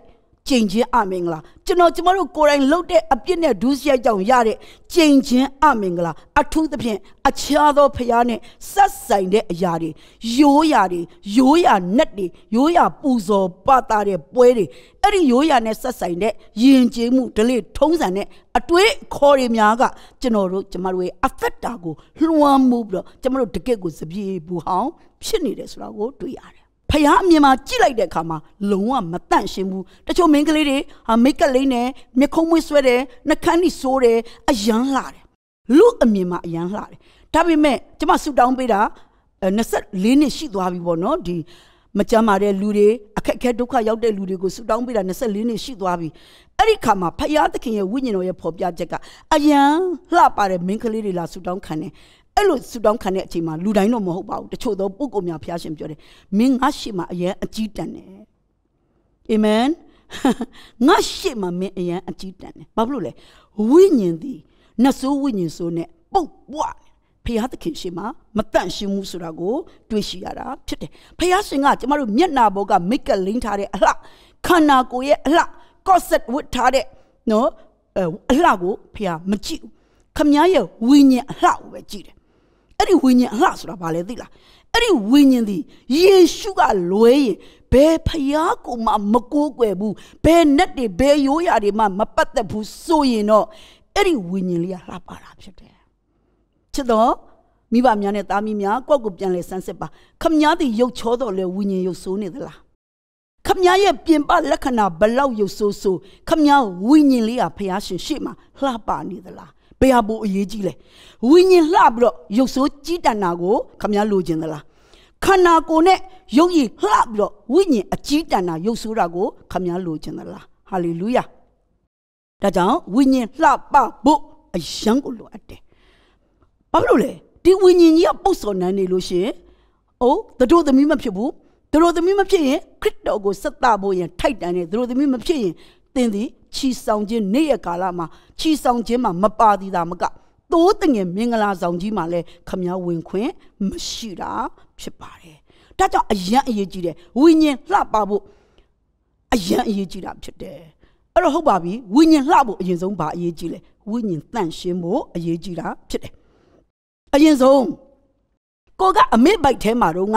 အမေကအယံခကြီးသွားတတ်လား အိုနိုင်ငံခြားခကြီးတွေလည်းသွားတယ်ပြည်တွင်းခကြီးတွေလည်းသွားတယ်တောတွေတောင်တွေဖြတ်ပြီးသွားတယ်ကားနဲ့သွားတယ်ယထာနဲ့သွားတယ်လှဲနဲ့သွားတယ်လှေနဲ့သွားတယ်သင်္ဘောနဲ့သွားတယ်ဟုတ်ပြီအမေသွားရင်သွားသလောက်ခမည်းထဲမှာဝင်ရောက်သွားပြီတောဆောင်နဲ့တောင်ဆောင်နဲ့မြစ်ဆောင်နဲ့ချောင်းဆောင်နဲ့မှာစ၍ပူဇော်ပတာတဲ့အရာများတို့သည် အမေဝိညာဉ်တွေကိုဝင်ရောက်သွားတဲ့အချိန်မှာအမေဘိုက်ထဲမှာရှိတဲ့ခမည်းအထဲကိုပါဝင်ရောက်သွားပြီ ဟုတ်ပြီအမေကအပျော်အပားတွေလိုက်စားလားဝတ္ထုတွေဖတ်လားကာတွန်းတွေတစ်ချိန်လုံးကြည့်သလားဗီဒီယိုတွေတစ်ချိန်လုံးကြည့်လားကလားကားတွေကြည့်သလားကိုရီးယားကားတွေကြည့်သလားအမေအဖြစ်ခမည်းအထက်မှာအဲ့ဒီဝိညာဉ်ဆိုးများတို့သည်ဝင်ရောက်သွားပါပြီဒါကြောင့်အမေလုတ်အမြခမည်းလုတ်ပြီးသားဖြစ်တယ်လို့အမေလုတ်အမြခမည်းအထက်ကိုမောင်မိုက်တကူတို့သည်ဝင်ရောက်သွားပြီးဖြစ်ပါတယ်အဲ့တော့ချစ်တော်မိဘညီကိုမောင်နှမများဖယားရှင်နှုတ်ကပတ်တော်ထဲမှာဖော်ပြထားသလို အာရန်အထက်မှာအေဝါရှိတယ်ပြီးတော့အာရန်အထက်မှာလူသားမျိုးနွယ်စုအလုံးရှိတယ်လို့ယောမဩဝါဒစာထဲမှာပြောထားပြီးသားဖြစ်တယ်ဒါဆိုရင်သင်ရဲ့မိဘနှစ်ပါးသည်အာရန်အထက်မှာရှိတယ်ခမည်းသည်မမွေးသေးဘူးအမေဘိုက်ထဲမှာခမည်းဝဘယ်မှာရှိလဲအာရန်အထက်မှာပဲရှိတယ်။ဒါကြောင့်ကျွန်တော်ကျမတို့ဒီအာရန်လုတ်သမျှအပြစ်ကျမတို့လုတ်တယ်အာရန်လုတ်သမျှကျမတို့အာရန်လုတ်သမျှကိုကျမတို့လုတ်တယ်လို့လည်းဖះရှင်ကသတ်မှတ်ထားတာဖြစ်ပါတယ်။ဒါမဲ့တစ်ခုတော့ရှိတယ်။ သခင်ယေရှုခရစ်တော်ကိုကျမတို့စိတ်နှလုံးအကျွမ်းမဲ့ယုံကြည်လက်ခံပြီးနှလုံးသားထဲမှာခေါ်ပြီးလက်ခံလိုက်တဲ့အခါမှာသခင်ယေရှုခရစ်တော်ဒီကျမတို့နှလုံးသားထဲကိုသူ့ရဲ့ဝိညာဉ်တော်အပြင်ဝင်ရောက်သွားတယ်။ဒါကြောင့်ခမည်းသည်ခရစ်တော်နဲ့အတူဝိညာဉ်တော်ကိုပါရရှိသွားတာဖြစ်ပါတယ်။ဒါပေမဲ့လေကျွန်တော်ကျမတို့ရဲ့အသက်တာထဲမှာဝိညာဉ်တော်သည်နေရာအပြည့်မရရှာဘူး။နော်သူနေရာအပြည့်မရရှာဘူး ကျွန်တော်ကျမတို့အသက်တာကျွန်တော်ကျမတို့နှလုံးသားကိုကျမတို့ကတခြင်းတော်ဆိုပါတယ်နေရပေးပါဤတရှင်တော်ဝိညာဉ်တော်ဒါမှဆိုတာတက်တက်ပဲဖြစ်ပြီးတော့မှတကယ်တမ်းအသက်တာအသက်ရှင်တဲ့ခါကျတော့ဝိညာဉ်တော်ကိုဦးစားမပေးဘူးဝိညာဉ်တော်ကိုနေရာမပေးဘူးအဲ့ဒီခါမှာဝိညာဉ်တော်ဒီကျမတို့အသက်တာကိုအုပ်ချုပ်ခွင့်မရဘူး အသက်တာမှာအုပ်ချုပ်ခွင့်မရရခြင်းအကြောင်းရင်းကလည်းခုနပြောတဲ့မှောင်မိုက်တကူအမိဘိုက်သေးကလေးကကိုရလာတဲ့မှောင်မိုက်တကူတွေကကျမတို့အသက်တာမှာသူကကြီးစိုးထားတယ်ခြေလေထားတယ်ကျမတို့နှလုံးသားမှာ strong hold ကခံတက်ကအယံကိုဒုနဲ့တဲနဲ့ခိုင်မာနေတာဖြစ်ပါတယ်အဲ့တော့မိဘဘိုးဘွားများရဲ့ရိုးရာတွေနှက်ကိုးကွယ်မှုတွေထိုအရာဒုစရိုက်များနောက်ပြီးတော့ကိုကိုယ်တိုင်ယေရှုခရစ်တော်မဟုတ်တဲ့ အခြားသောဘုရားကိုကိုးကွယ်ခဲ့တာပူဇော်ခဲ့တာနော်ကြည်ညိုခဲ့တာပြီးတော့မှနဆုပညာတွေကိုလေ့လာလိုက်စားခဲ့တာဘေရီယရီယာတွေအဲကိုယ်တိုင်လဲသူတစ်ပါးကိုတွက်ချက်ပေးခဲ့တာနော်ဘေရင်လက္ခဏာကြည့်ဖို့ဝါသနာပါခဲ့တာစသည်ဖြင့်နော်ခုနှစ်သားသမီးဘေရင်ကိုအယမ်းစိတ်ဝင်စားခဲ့တာမှဲ့လုံကျန်းတွေကိုစိတ်ဝင်စားခဲ့တာအသားလုံကျန်းတွေကိုစိတ်ဝင်စားခဲ့တာနော်အဲ့ဒါလေးတွေဟာလေအဲကျမတို့အသက်တာထဲမှာဝิญဉ်တော် နေရာမရပါမည်အကြောင်းကျွန်တော်တို့အသက်တာထဲမှာရှိတဲ့ဘူးဟောင်းဖြစ်နေတဲ့အရာတွေဖြစ်တယ်ကျွန်မကိုယ်တိုင်ငငယ်တုန်းကအရန်စိတ်ဝင်စားခဲ့တာတခုရှိပါတယ်မဟာဗုဒ္ဓတိုင်ထူတယ်ဘာတွေမှတော့မသိဘူးကျွန်မအဲ့ဒါကိုနည်းနည်းနည်းနည်းလေးသူများသင်ပေးလို့တက်တယ်နောက်ပြီးတော့ကျွန်မလက္ခဏာကိုတော့မကြည့်တတ်ဘူးဒါပေမဲ့လက္ခဏာကြည့်တတ်ပါတယ်ဆိုတဲ့တငယ်ချင်းအပေါင်းအသင်းတွေတကယ်ဟုတ်တာမဟုတ်တာမသိဘူးတခါတည်းလူမြင်ကျွန်မလက်ထိုးပေးတာပဲငါကြည့်ပေးပါအောင်ဟဲ့အဲ့ဒါတွေအကုန်ပြန်ဝင်ချရတာနော် အခြားသောဖရားအတွက်လှုပ်ဆောင်ပေးခဲ့တဲ့အရာတွေကျမတို့အကုန်ပြန်လဲပြီးတော့ဝင်ချတောင်းပန်ရတာဖြစ်တယ်အဲ့ဒီဒုစရိုက်တွေနဲ့အပြော့အပါးတွေရိုးရာတွေနဲ့မောင်မိုက်တကူတွေကြောင့်ကျမတို့အသက်တာကျမတို့ဝိညာဉ်ကျမတို့နှလုံးသားမတန့်ရှင်းဘူးမာနကြီးတဲ့သူတော်တော်များများကိုကြည့်လိုက်တဲ့အခါမှာသူတို့မာနကတချို့ကမာနကြီးတယ်ဟုတ်တယ်ပညာတက်လို့မာနကြီးတယ်ဥစ္စာစည်းစိမ်ပေါ်များကြွယ်ဝလို့မာနကြီးတယ်ရုပ်အယံချောတဲ့မိန်းကလေးတွေမာနကြီးတယ် နော်အရန်ရုပ်ရည်ခညာတဲ့ယောက်ျားလေးတွေမာနကြီးတယ်စီးပွားရှာနိုင်တဲ့သူတွေမာနကြီးတယ်ဒါတဘာဝကြတယ်မာနကြီးတာမကောင်းဘူးဒါပေမဲ့လည်းတဘာဝကြတယ်သို့တော့တချို့သောပုဂ္ဂိုလ်များစီးပွားရှာနိုင်လားမရှာနိုင်ဘူးအိမ်မှာဘာလုပ်လဲဘာမှမလုပ်ဘူးစားတော်လားစားလည်းမတော်ဘူးရုပ်ချောလားရုပ်လည်းမချောဘူးအရာမောင်းကောင်းလားအရာမောင်းလည်းမကောင်းဒါပေမဲ့မာနအလွန်ကြီးတယ်အဲ့ဒါကိုဘာလို့ခေါ်လဲရိုးရာမာနသူမာနကြီးအောင်လှုပ်ဆောင်နေသောသူသည်သူမဟုတ်ဘူးသူ့မှာမာနကြီးစရာဘာမှမရှိဘူးပတ်စံလည်းတပြားမှမရှိဘူး တို့တော့လေအဲ့ဒီမာနဘယ်ကလာတယ်လဲရိုးရာကနေလာတယ်ဟုတ်ပြီနော်ကျမတို့ပြန်စဉ်းစားကြည့်ပါခမည်းမာနကြီးနေဆိုခမည်းအရန်ချောလို့မာနကြီးနေတာလားဟုတ်လားအရန်ချမ်းသာလို့မာနကြီးနေတာလားပညာအရန်တက်လို့မာနကြီးနေတာလားစီပွားအရန်ရှာနိုင်လို့မာနကြီးနေတာလားပြန်လဲစမ်းစစ်ကြည့်ပါခမည်းမာနကရိုးရာမာနဖြစ်နေသလားတချို့သောပုဂ္ဂိုလ်များမယုံကြည်သူကနေပြီးအခုပဲပြောင်းလဲလာတယ်အရင်တုန်းကအခြားသောဖဖះကိုကိုကိုွယ်တယ်အခုပြောင်းလဲလာတယ် ဟုတ်ပြီဒါပေမဲ့ခမည်းကပြောင်းလဲလာတဲ့အချိန်မှာသူများမြောက်ပေးတိုင်းငါသည်အောင်မြင်တော်သူဖြစ်တယ်ငါသည်ဗိသိခံရတော်သူဖြစ်တယ်ငါသည်ကြွယ်ဝချမ်းသာတော်သူဖြစ်တယ်ခမည်းကြွေးကြော်တယ်ဆိုတော့တက္ကရာ2019တုန်းကခမည်းတက္ကရာ2020ဒီငါကောင်းကြီးခံစားရသောနှစ်ဖြစ်တယ်လို့ခမည်းကြွေးကြော်တယ်ဒါပေမဲ့တက္ကရာ2020သာကုန်သွားတယ်2021ရောက်သွားပြီခမည်းဘာမှမထူချဘူးထိုနည်း၎င်းထိုနည်း၎င်းမဲ့ဖြစ်နေသလားအဲ့ဒါဘာဖြစ်လို့လဲခ မည်းကြွေးကြော်နေတာပဲလေခမည်းဝင်ခံနေတာပဲလေဘာဖြစ်လို့များခမည်းဘဝအသက်တာသည်ထူခြားခြင်းပြောင်းလဲခြင်းဘာကြောင့်ရှိမလာတာလဲနော်အစိုးဆုံးကတော့ဗာလေအဲ့ဒီလိုပြောင်းလဲလာတဲ့ပုံကိုယ်တွေကအဲ့လိုအနာရောဂါငြိမ်းခြင်းနော်နိုင်ငံခြားကဆရာကြီးတွေအနာရောဂါငြိမ်းခြင်းတွေဘာတွေလုပ်တဲ့အခါမှာအဲ့ဒါတွေကိုအရန်အားကျပြီးတော့မှအနာရောဂါငြိမ်းခြင်းဗိသိက်တွေလိုချင်တယ်နမိတ်လက္ခဏာပြခြင်းဗိသိက်တွေလိုချင်တယ်ပြီးတော့မှ ကိုစွတောင်းလို့ရှင်လူတွေလဲသွားတာကိုလိုချင်တယ်အဲ့ဒီလိုမျိုးဗိသိက်ကိုကြတော့အရန်လိုချင်တယ်ဒါမဲ့ကိုယ့်ရဲ့အသက်တာကကြတော့ဘူးဟောင်းဖြစ်နေတယ်ချစ်တော်သားများသမီးများမှတ်ထားလိုက်ကျွန်မစကားကိုထက်ခါထက်ခါပြောမယ်ဘူးဟောင်းဖြစ်နေသေးပြီစပြည့်ရည်အသက်ထဲလို့မရဘူးထဲရခမများစုပ်ကွဲသွားမှာထဲရင်ဘူးဟောင်းတဲ့ကိုစပြည့်ရည်အသက်ထဲရင်ဘူးစီစုပ်ကွဲသလိုခမများအသက်တာခမများပောက်ကွဲသွားမှာဖြစ်တယ် နော်အဲ့ဒီအကြောင်းလေးကိုနောက်ရှင်းပြမယ်အဲ့တော့တချို့သောသူများအခုပဲပြောင်းလဲအခုပဲအယံကိုတကူရှိခြင်းတယ်အဲ့ဒီခါမှာဘာနဲ့သွားရောလဲဆိုတော့နတ်ဆိုးပညာနဲ့သွားရောတယ်ကိုနာမည်ကြီးခြင်းတဲ့အတွက်ကြောင့်သူများရှိမှလုတ်ပြခြင်းတဲ့အတွက်ကြောင့်နောက်ပြီးတော့မှပိုက်ဆံရခြင်းတဲ့အတွက်ကြောင့်အကောင်းဆုံးသောစီးပွားရေးလုပ်ငန်းလို့သတ်မှတ်ပြီးတော့ ကို့မှာအနာယောဂငင်းငင်းဝိညာဉ်စုကျေးဇူးတန်ရှင်သောဝိညာဉ်တော်တွန်းလောင်းပြီးတော့ရထားတာမဟုတ်ဘဲနဲ့လူတွေ့နဖူးကင်ပြီးတော့တခါတည်းတွန်းလဲခြင်းတယ်နော်ကိုစုတောင်းပေးလို့မလဲရင်အတင်းအရမဘိုက်ကနေလှဲပလိုက်တယ်နဖူးကနေလှဲပလိုက်တယ်ဒါမျိုးအဲ့လိုမျိုးအတုအယောင်နေကျမတို့မလုပ်ရပါဘူးကျမရှိမှာလူတော်တော်များများလာပြီးတော့ဆူတောင်းခံကြတယ်အခုကိုဗစ်ကာလမှာကိုပဲ အများကြီးရောက်လာတယ်ရောက်လာတယ်ဆိုတာဟိုတရက်ကိုတယောက်နှစ်ယောက်တရက်ကိုတယောက်နှစ်ယောက်နဲ့အဲ့လိုတော်တော်များများရောက်လာကြတယ်လူငယ်တယောက်ကပြောတယ်ဆရာမကြီးကျွန်တော်ပါမှာလက်တင်ပြီးကောင်းကြီးပေးပြီးတော့ဘိတ်သိပေးလိုက်ရင်ကျွန်တော်တခါတဲ့လူနာတွေကိုဆူတောင်းပြီးတော့လူနာတွေကျမ်းမာသွားတဲ့လူဖြစ်ချင်တယ်ဒါကြောင့်ဆရာမကြီးကျွန်တော်ပေါ်မှာလက်တင်ပြီးကောင်းကြီးပေးပါကျွန်တော်ကိုလက်တင်ပြီးတော့ဘိတ်သိပေးပါကျွန်မပြောတယ် မင်းလက်တင်ပြီးတော့ဗိတ်သိပ်ပေးပြီးတော့လူတွေကြမ်းမာသွားတာလူတွေလဲသွားတာမင်းလိုချင်နေဆိုရင်မင်းအရင်ဆုံးစပြည့်ရဘူးဟောင်းကနေလွတ်မြောက်အောင်လုပ်ပါမင်းရဲ့အရင်တုန်းကယုံကြည်ကိုးကွယ်သက်ဝင်ခဲ့တဲ့အရာတွေမင်းရဲ့အသက်တာထဲမှာမင်းအတွေးခေါ်ထဲမှာရှိနေတယ်အဲ့ဒါတွေအရင်ဆုံးထုတ်ရမယ်တင်နန်းတော့သူတက်သွားတယ်တင်နန်းတက်သွားတယ် ယင်းချင်းမင်္ဂလာလည်းခံသွားတယ်ဒါပေမဲ့ဆက်လက်ပြီးတော့စေးကြောခြင်းတန့်စင်ခြင်းခံဖို့ကြတော့နောက်ထပ်ပြန်မရောက်လာတော့ဘူးတလူလူမျိုးတွေအများကြီးတွေ့ရတာဖြစ်ပါတယ်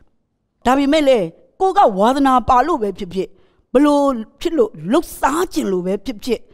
လှုပ်ခြင်းလို့လှုပ်စီဖះလည်းမတောက်ကျမတို့လည်းမတောက်ဒါပေမဲ့အချိန်တိုင်တော့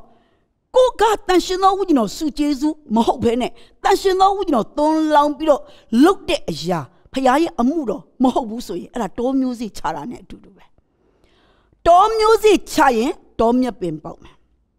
နောက်ပြီးတော့ကောင်းသောစဘာမျိုးစေ့ကိုကျဲရင်ကောင်းသောစဘာပင်ပေါက်မယ်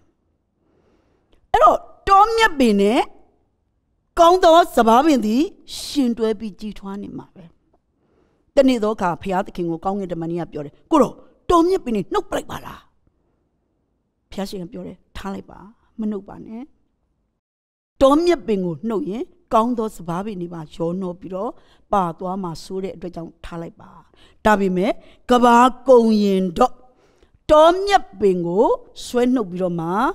ဖရာသခင်သည်မီးရှို့ပြစ်မယ်ငိုကြွေးခြင်းအံသွားခဲကြိတ်ခြင်းရှိရာပြည်အရမှောင်မိုက်တော့ချလိုက်မှာဖြစ်တယ်ဆိုတာကိုဖော်ပြထားတာဖြစ်ပါတယ်ရှင်မသက်ခရစ်ဝင်ခန်းကြီး73ကိုကြည့်အောင် ရှင်မာသက်ခရစ်ဝင် အခန်းကြီး73အငယ်36မှ43ဖြစ်ပါတယ်အငယ်36မှ43တွေ့ရင်အတူတကွဖတ်ကြရအောင်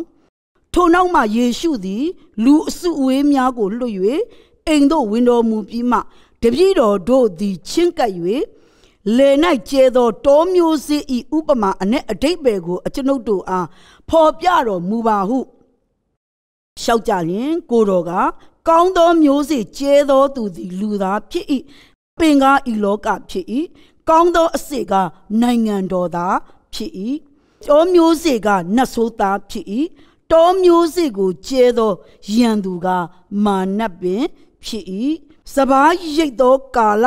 ဤကဘာကုံသောကာလဖြစ်၏စပားရိတ်သောသူကကောင်းကင်တမန်ဖြစ်၏တောပင်တို့ကိုရွေးနှုတ်၍မိရှုတကဲ့သို့ဤကဘာအစုံ၌ ဖြစ်လက်တံ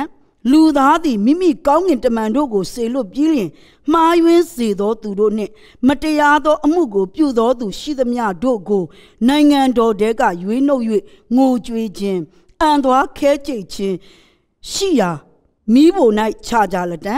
ထိုအခါဖြောက်မှတ်သောသူတို့သည် နေထွန်းလင်းတကဲ့သို့မိမိတို့အဖနိုင်ငံတော်၌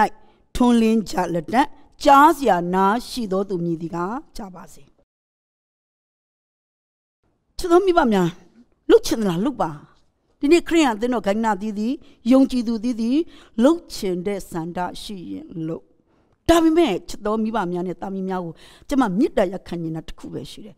ဝိညာဉ်တော်ရပြီးမှလုတ်ဝိညာဉ်တော်သွန်းလောင်းပြီးမှလုတ်ဝိညာဉ်တော်သွန်းလောင်းနိုင်ဖို့ရန်ခမားသည်ဆုတောင်းဖို့မလို့ခမားအသက်တာနဲ့ခမားရဲ့နှလုံးသား ဖယားရှင်ကျင်းနဲ့နှစ်သက်အောင်အသက်တာကိုဘူးဟောင်းကနေဘူးသစ်ဖြစ်အောင်သာပြင်ဆင်ပါကျမတို့အသင်းတော်ပေါ်မှာ1996ခုနှစ်မှာဝိညာဉ်တော်သွန်းလောင်းခဲ့တာကျမတို့လင်မယားတွေဇနီးမောင်နှံတွေပြန်လည်စဉ်းစားတယ်ဘာကြောင့်ဝိညာဉ်တော်သွန်းလောင်းတာလဲအဖြေရှာမရအောင်ဘာဖြစ်လို့လဲကျမတို့အကြီးအကျယ်ဝိညာဉ်တော်သွန်းလောင်းပါလို့လဲဆုမတောင်းခဲ့ဘူးရိုးသားစွာဖယားမျက်မှောက်တော်ကိုတိုးဝင်ချင်းကတ်တယ်ကျမတို့အခြားသောဘာသာစကားတောင်းကျမဆိုရင်မရသေးပါဘူး ဆရာဦးထွန်းလင်းကတော့ရခဲ့တာအဲ့ဒီတုန်းကဆို26နှစ်ရှိပြီဒါပေမဲ့ကျမတို့ဒီယုံကြည်သူလောကထဲမှာကျင်လေတဲ့အခါမှာအခြားသောဘာသာစကားကိုမသုံးရတဲ့အတွက်ကြောင့်ပဝါထဲမှာထုတ်ပြီးတော့မြေမြုပ်သိမ်းဆဲခဲ့တာသူအခြားသောဘာသာစကားမပြောတာရတဲ့အနေနဲ့တလားလောက်ပဲပြောပြီးတော့သူသိမ်းဆဲထားခဲ့တာဖြစ်ပါတယ်ဒါပေမဲ့ဝိညာဉ်တော်သုံးလောင်းတဲ့အချိန်မှာဘုရားသခင်ကအခြားသောဘာသာစကားများများပြောခိုင်းပါတယ်ဘုရားပြောခိုင်းတာပါ နော်ဒါပေမဲ့ကျွန်မပြောချင်တာဝိညာဉ်တော်သုံးလောင်းကြည့်ရင်ကျွန်တော်တို့ဆူတောင်းတိုင်လုံးလို့မဟုတ်ဘူးဒါပေမဲ့ကျွန်တော်တို့ပထနာတင်တယ်ပြီးတော့မှရိုးသားစွာဘုရားရှင်အမှုတော်ကိုကျွန်တော်တို့ဆင်းရဲပင်ပန်းခံပြီးဆောင်ရွက်တယ်ဘုရားရှင်မှာရိုးရိုးလေးပဲတိုးဝင်တယ်အဲ့ဒီခါမှာဘုရားကလည်းရိုးရိုးလေးပဲဝိညာဉ်တော်သုံးလောင်းပေးတာဖြစ်ပါတယ်ဒီနေ့ကျွန်တော်တို့လှုပ်ဆောင်နေတဲ့အရာတွေအားလုံးဒီကျွန်တော်တို့ရဲ့ဇာတိတက်ဆွမ်းမှုတွေနဲ့လှုပ်ဆောင်နိုင်ခြင်းမဟုတ်ဘဲနဲ့ ဖယားသခင်ရဲ့ဝိညာဉ်တော်ရဲ့လမ်းပြမှုဝိညာဉ်တော်ရဲ့ဖော်ပြမှုတွေကြောင့်ပဲကျွန်တော်တို့ဒီနေ့နှုတ်ကပတ်တော်တွေကိုပြောနိုင်တယ်လုံနိုင်တာပဲဖြစ်ပါတယ်အသင်းတော်တည်မြဲတာလေအဲ့ဒီတန်ရှင်သောဝိညာဉ်တော်ကြောင့်ဖယားရှင်ကိုတော်တိုင်သူ့ရဲ့ဝိညာဉ်တော်အဖြစ်တည်ထောင်ထားတဲ့အသင်းတော်ဖြစ်လို့ပဲဖြစ်ပါတယ်အချို့မိယိုဖလားယုံကြည်သူတွေရှိကြတယ်ခရိယန်ဖြစ်တာသားချင်းမြေဆက်30ရှိသွားပြီအဖို့သင်းအုပ်ဆရာအဖေသင်းအုပ်ဆရာ ကျမလူပေါ့နော်အဖိုးသင်းဥစရာအဖေသင်းဥစရာဒါပေမဲ့လေခရိယန်နာမည်ခံတော်လဲပဲသူတို့ဘာပြောလဲတချို့သောပုဂ္ဂိုလ်များကျမတို့ပြောတဲ့အခါမှာသူတို့လက်မခံ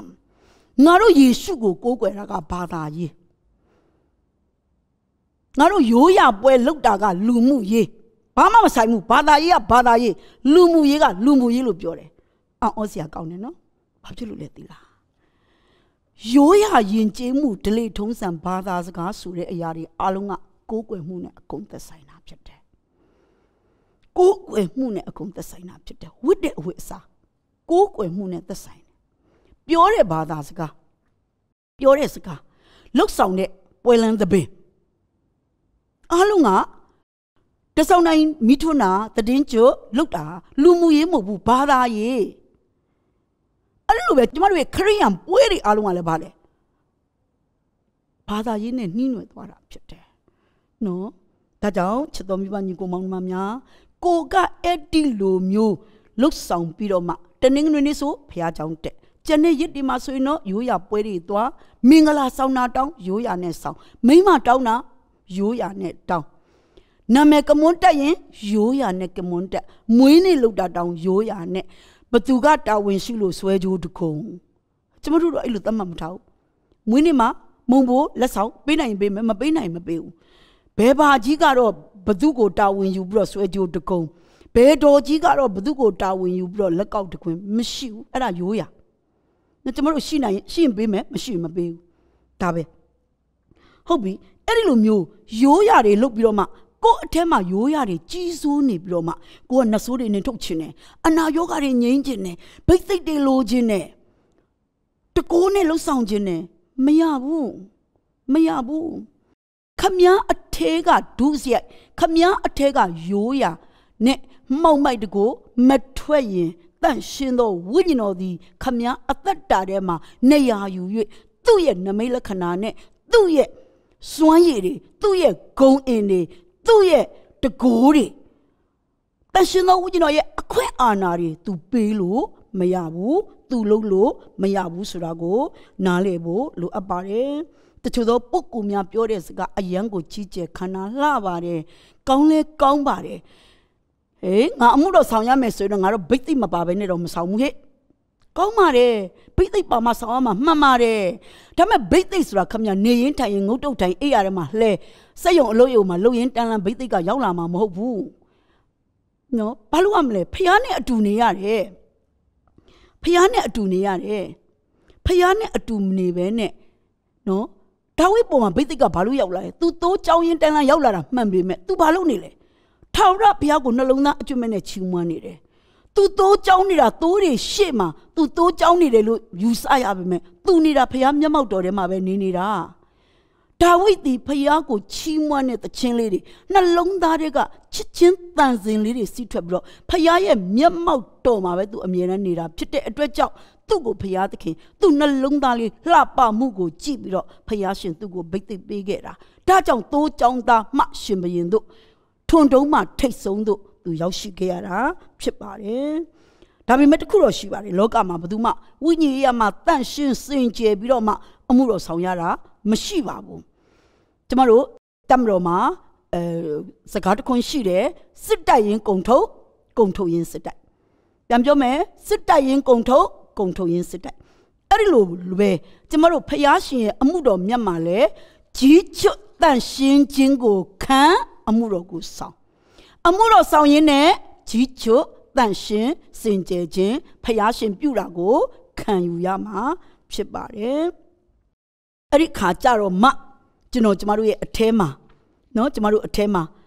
ကျမတို့ကိုပြုတ်ပြင်းကြီးချွတ်တန်ရှင်းခြင်းပေးမဲ့ပုဂ္ဂိုလ်ကတန်ရှင်းတော်ဝိညာဉ်တော်ဒါဆိုချစ်တော်မိဘညီကိုမောင်မများကျွန်တော်ကျမတို့ကဝိညာဉ်တော်ကိုလက်မခံဘူးဝိညာဉ်တော်ရဲ့ဘာသာစကားကိုလက်မခံဘူးဆိုရင်ဖယားရှင်ခမရကိုကြီးချွတ်ခြင်းပဲမဲ့ချွတ်လို့မရဘူးချွတ်ရင်လည်းခမရခံနိုင်ရရှိမှာမဟုတ်ဘာလို့ခံနိုင်ရဆိုတာဝိညာဉ်တော်အဖြစ်မဲ့ရတာဖြစ်တဲ့အတွက်ကြောင့်ဖြစ်တယ်ဒါကြောင့်ဖယားရှင်ရဲ့တန့်စင်ခြင်းကြီးချွတ်ခြင်းပြုတ်ပြင်ခြင်းပုံသွင်းခြင်းကိုမခံသေးပဲနဲ့လူတယောက်အယံကိုအောင်မြင်နေတယ် ကြော်ကြားနေတယ်ဆိုရင်မှတ်ထားလိုက်ပါသူကြာကြာမခံပါဘူးဝိညာဉ်တော်အပြစ်မဟုတ်ရင်လူတယောက်ကြာကြာမခံဘူးအလွန်ဆုံးကြာဆယ်စုနှစ်တစ်ခုပဲကြာရင်ဘာဖြစ်သွားမလဲမင်းမိန်သွားမယ်ပျောက်ကွယ်သွားမှာဖြစ်ပါတယ်လူရှစ်မှာအပြောကောင်းလို့လူတွေကနော်ထင်ပေါ်လို့စင်တော်ကကောက်ပင်မဲ့ဖရာသခင်ရှေ့မှာကြတော့ no ဖရာသခင်ရှေ့မှာဘာမှမဟုတ်ပါဘူးဒါကြောင့်ချစ်တော် မယုံကြည်သူကနေအခုပြောင်းလဲလာကြတဲ့ပုံကိုများဒါမှမဟုတ်ယုံကြည်သူမီယိုဖလာခရိယန်ဆိုတဲ့ပုံကိုများဖယားရှင်ရဲ့အမှုတော်မြတ်သေးမှခမများပါဝင်ခြင်းတဲ့တကယ်ပဲအသက်တာကိုတန့်ရှင်းခြင်းနဲ့စင်ကြယ်ခြင်းနဲ့တကယ်ပဲဘိတ်သိက်တော်နဲ့တကိုးတော်နဲ့လှုပ်ဆောင်ခြင်းနဲ့ဆိုရင်ဘာလို့ရမလဲဆိုနံပါတ်1အချက်၄ချက်နဲ့ကျွန်မပြောပါမယ်နံပါတ်1ကိုယ့်ရဲ့ဒူးဆိုင်၌ ခိုင်မာနေတဲ့အရာတွေကိုယ့်ရဲ့ရိုးရာနဲ့နတ်ဆိုးကိုစွဲလန်း၍မစွန့်လွတ်နိုင်တဲ့အရာတွေအဲ့ဒီအရာတွေခိုင်မာမှုတွေကိုဖယားသခင်ကညံ့ညက်ထူထောင်ခြင်းကိုအရင်ဆုံးခံရပါမယ်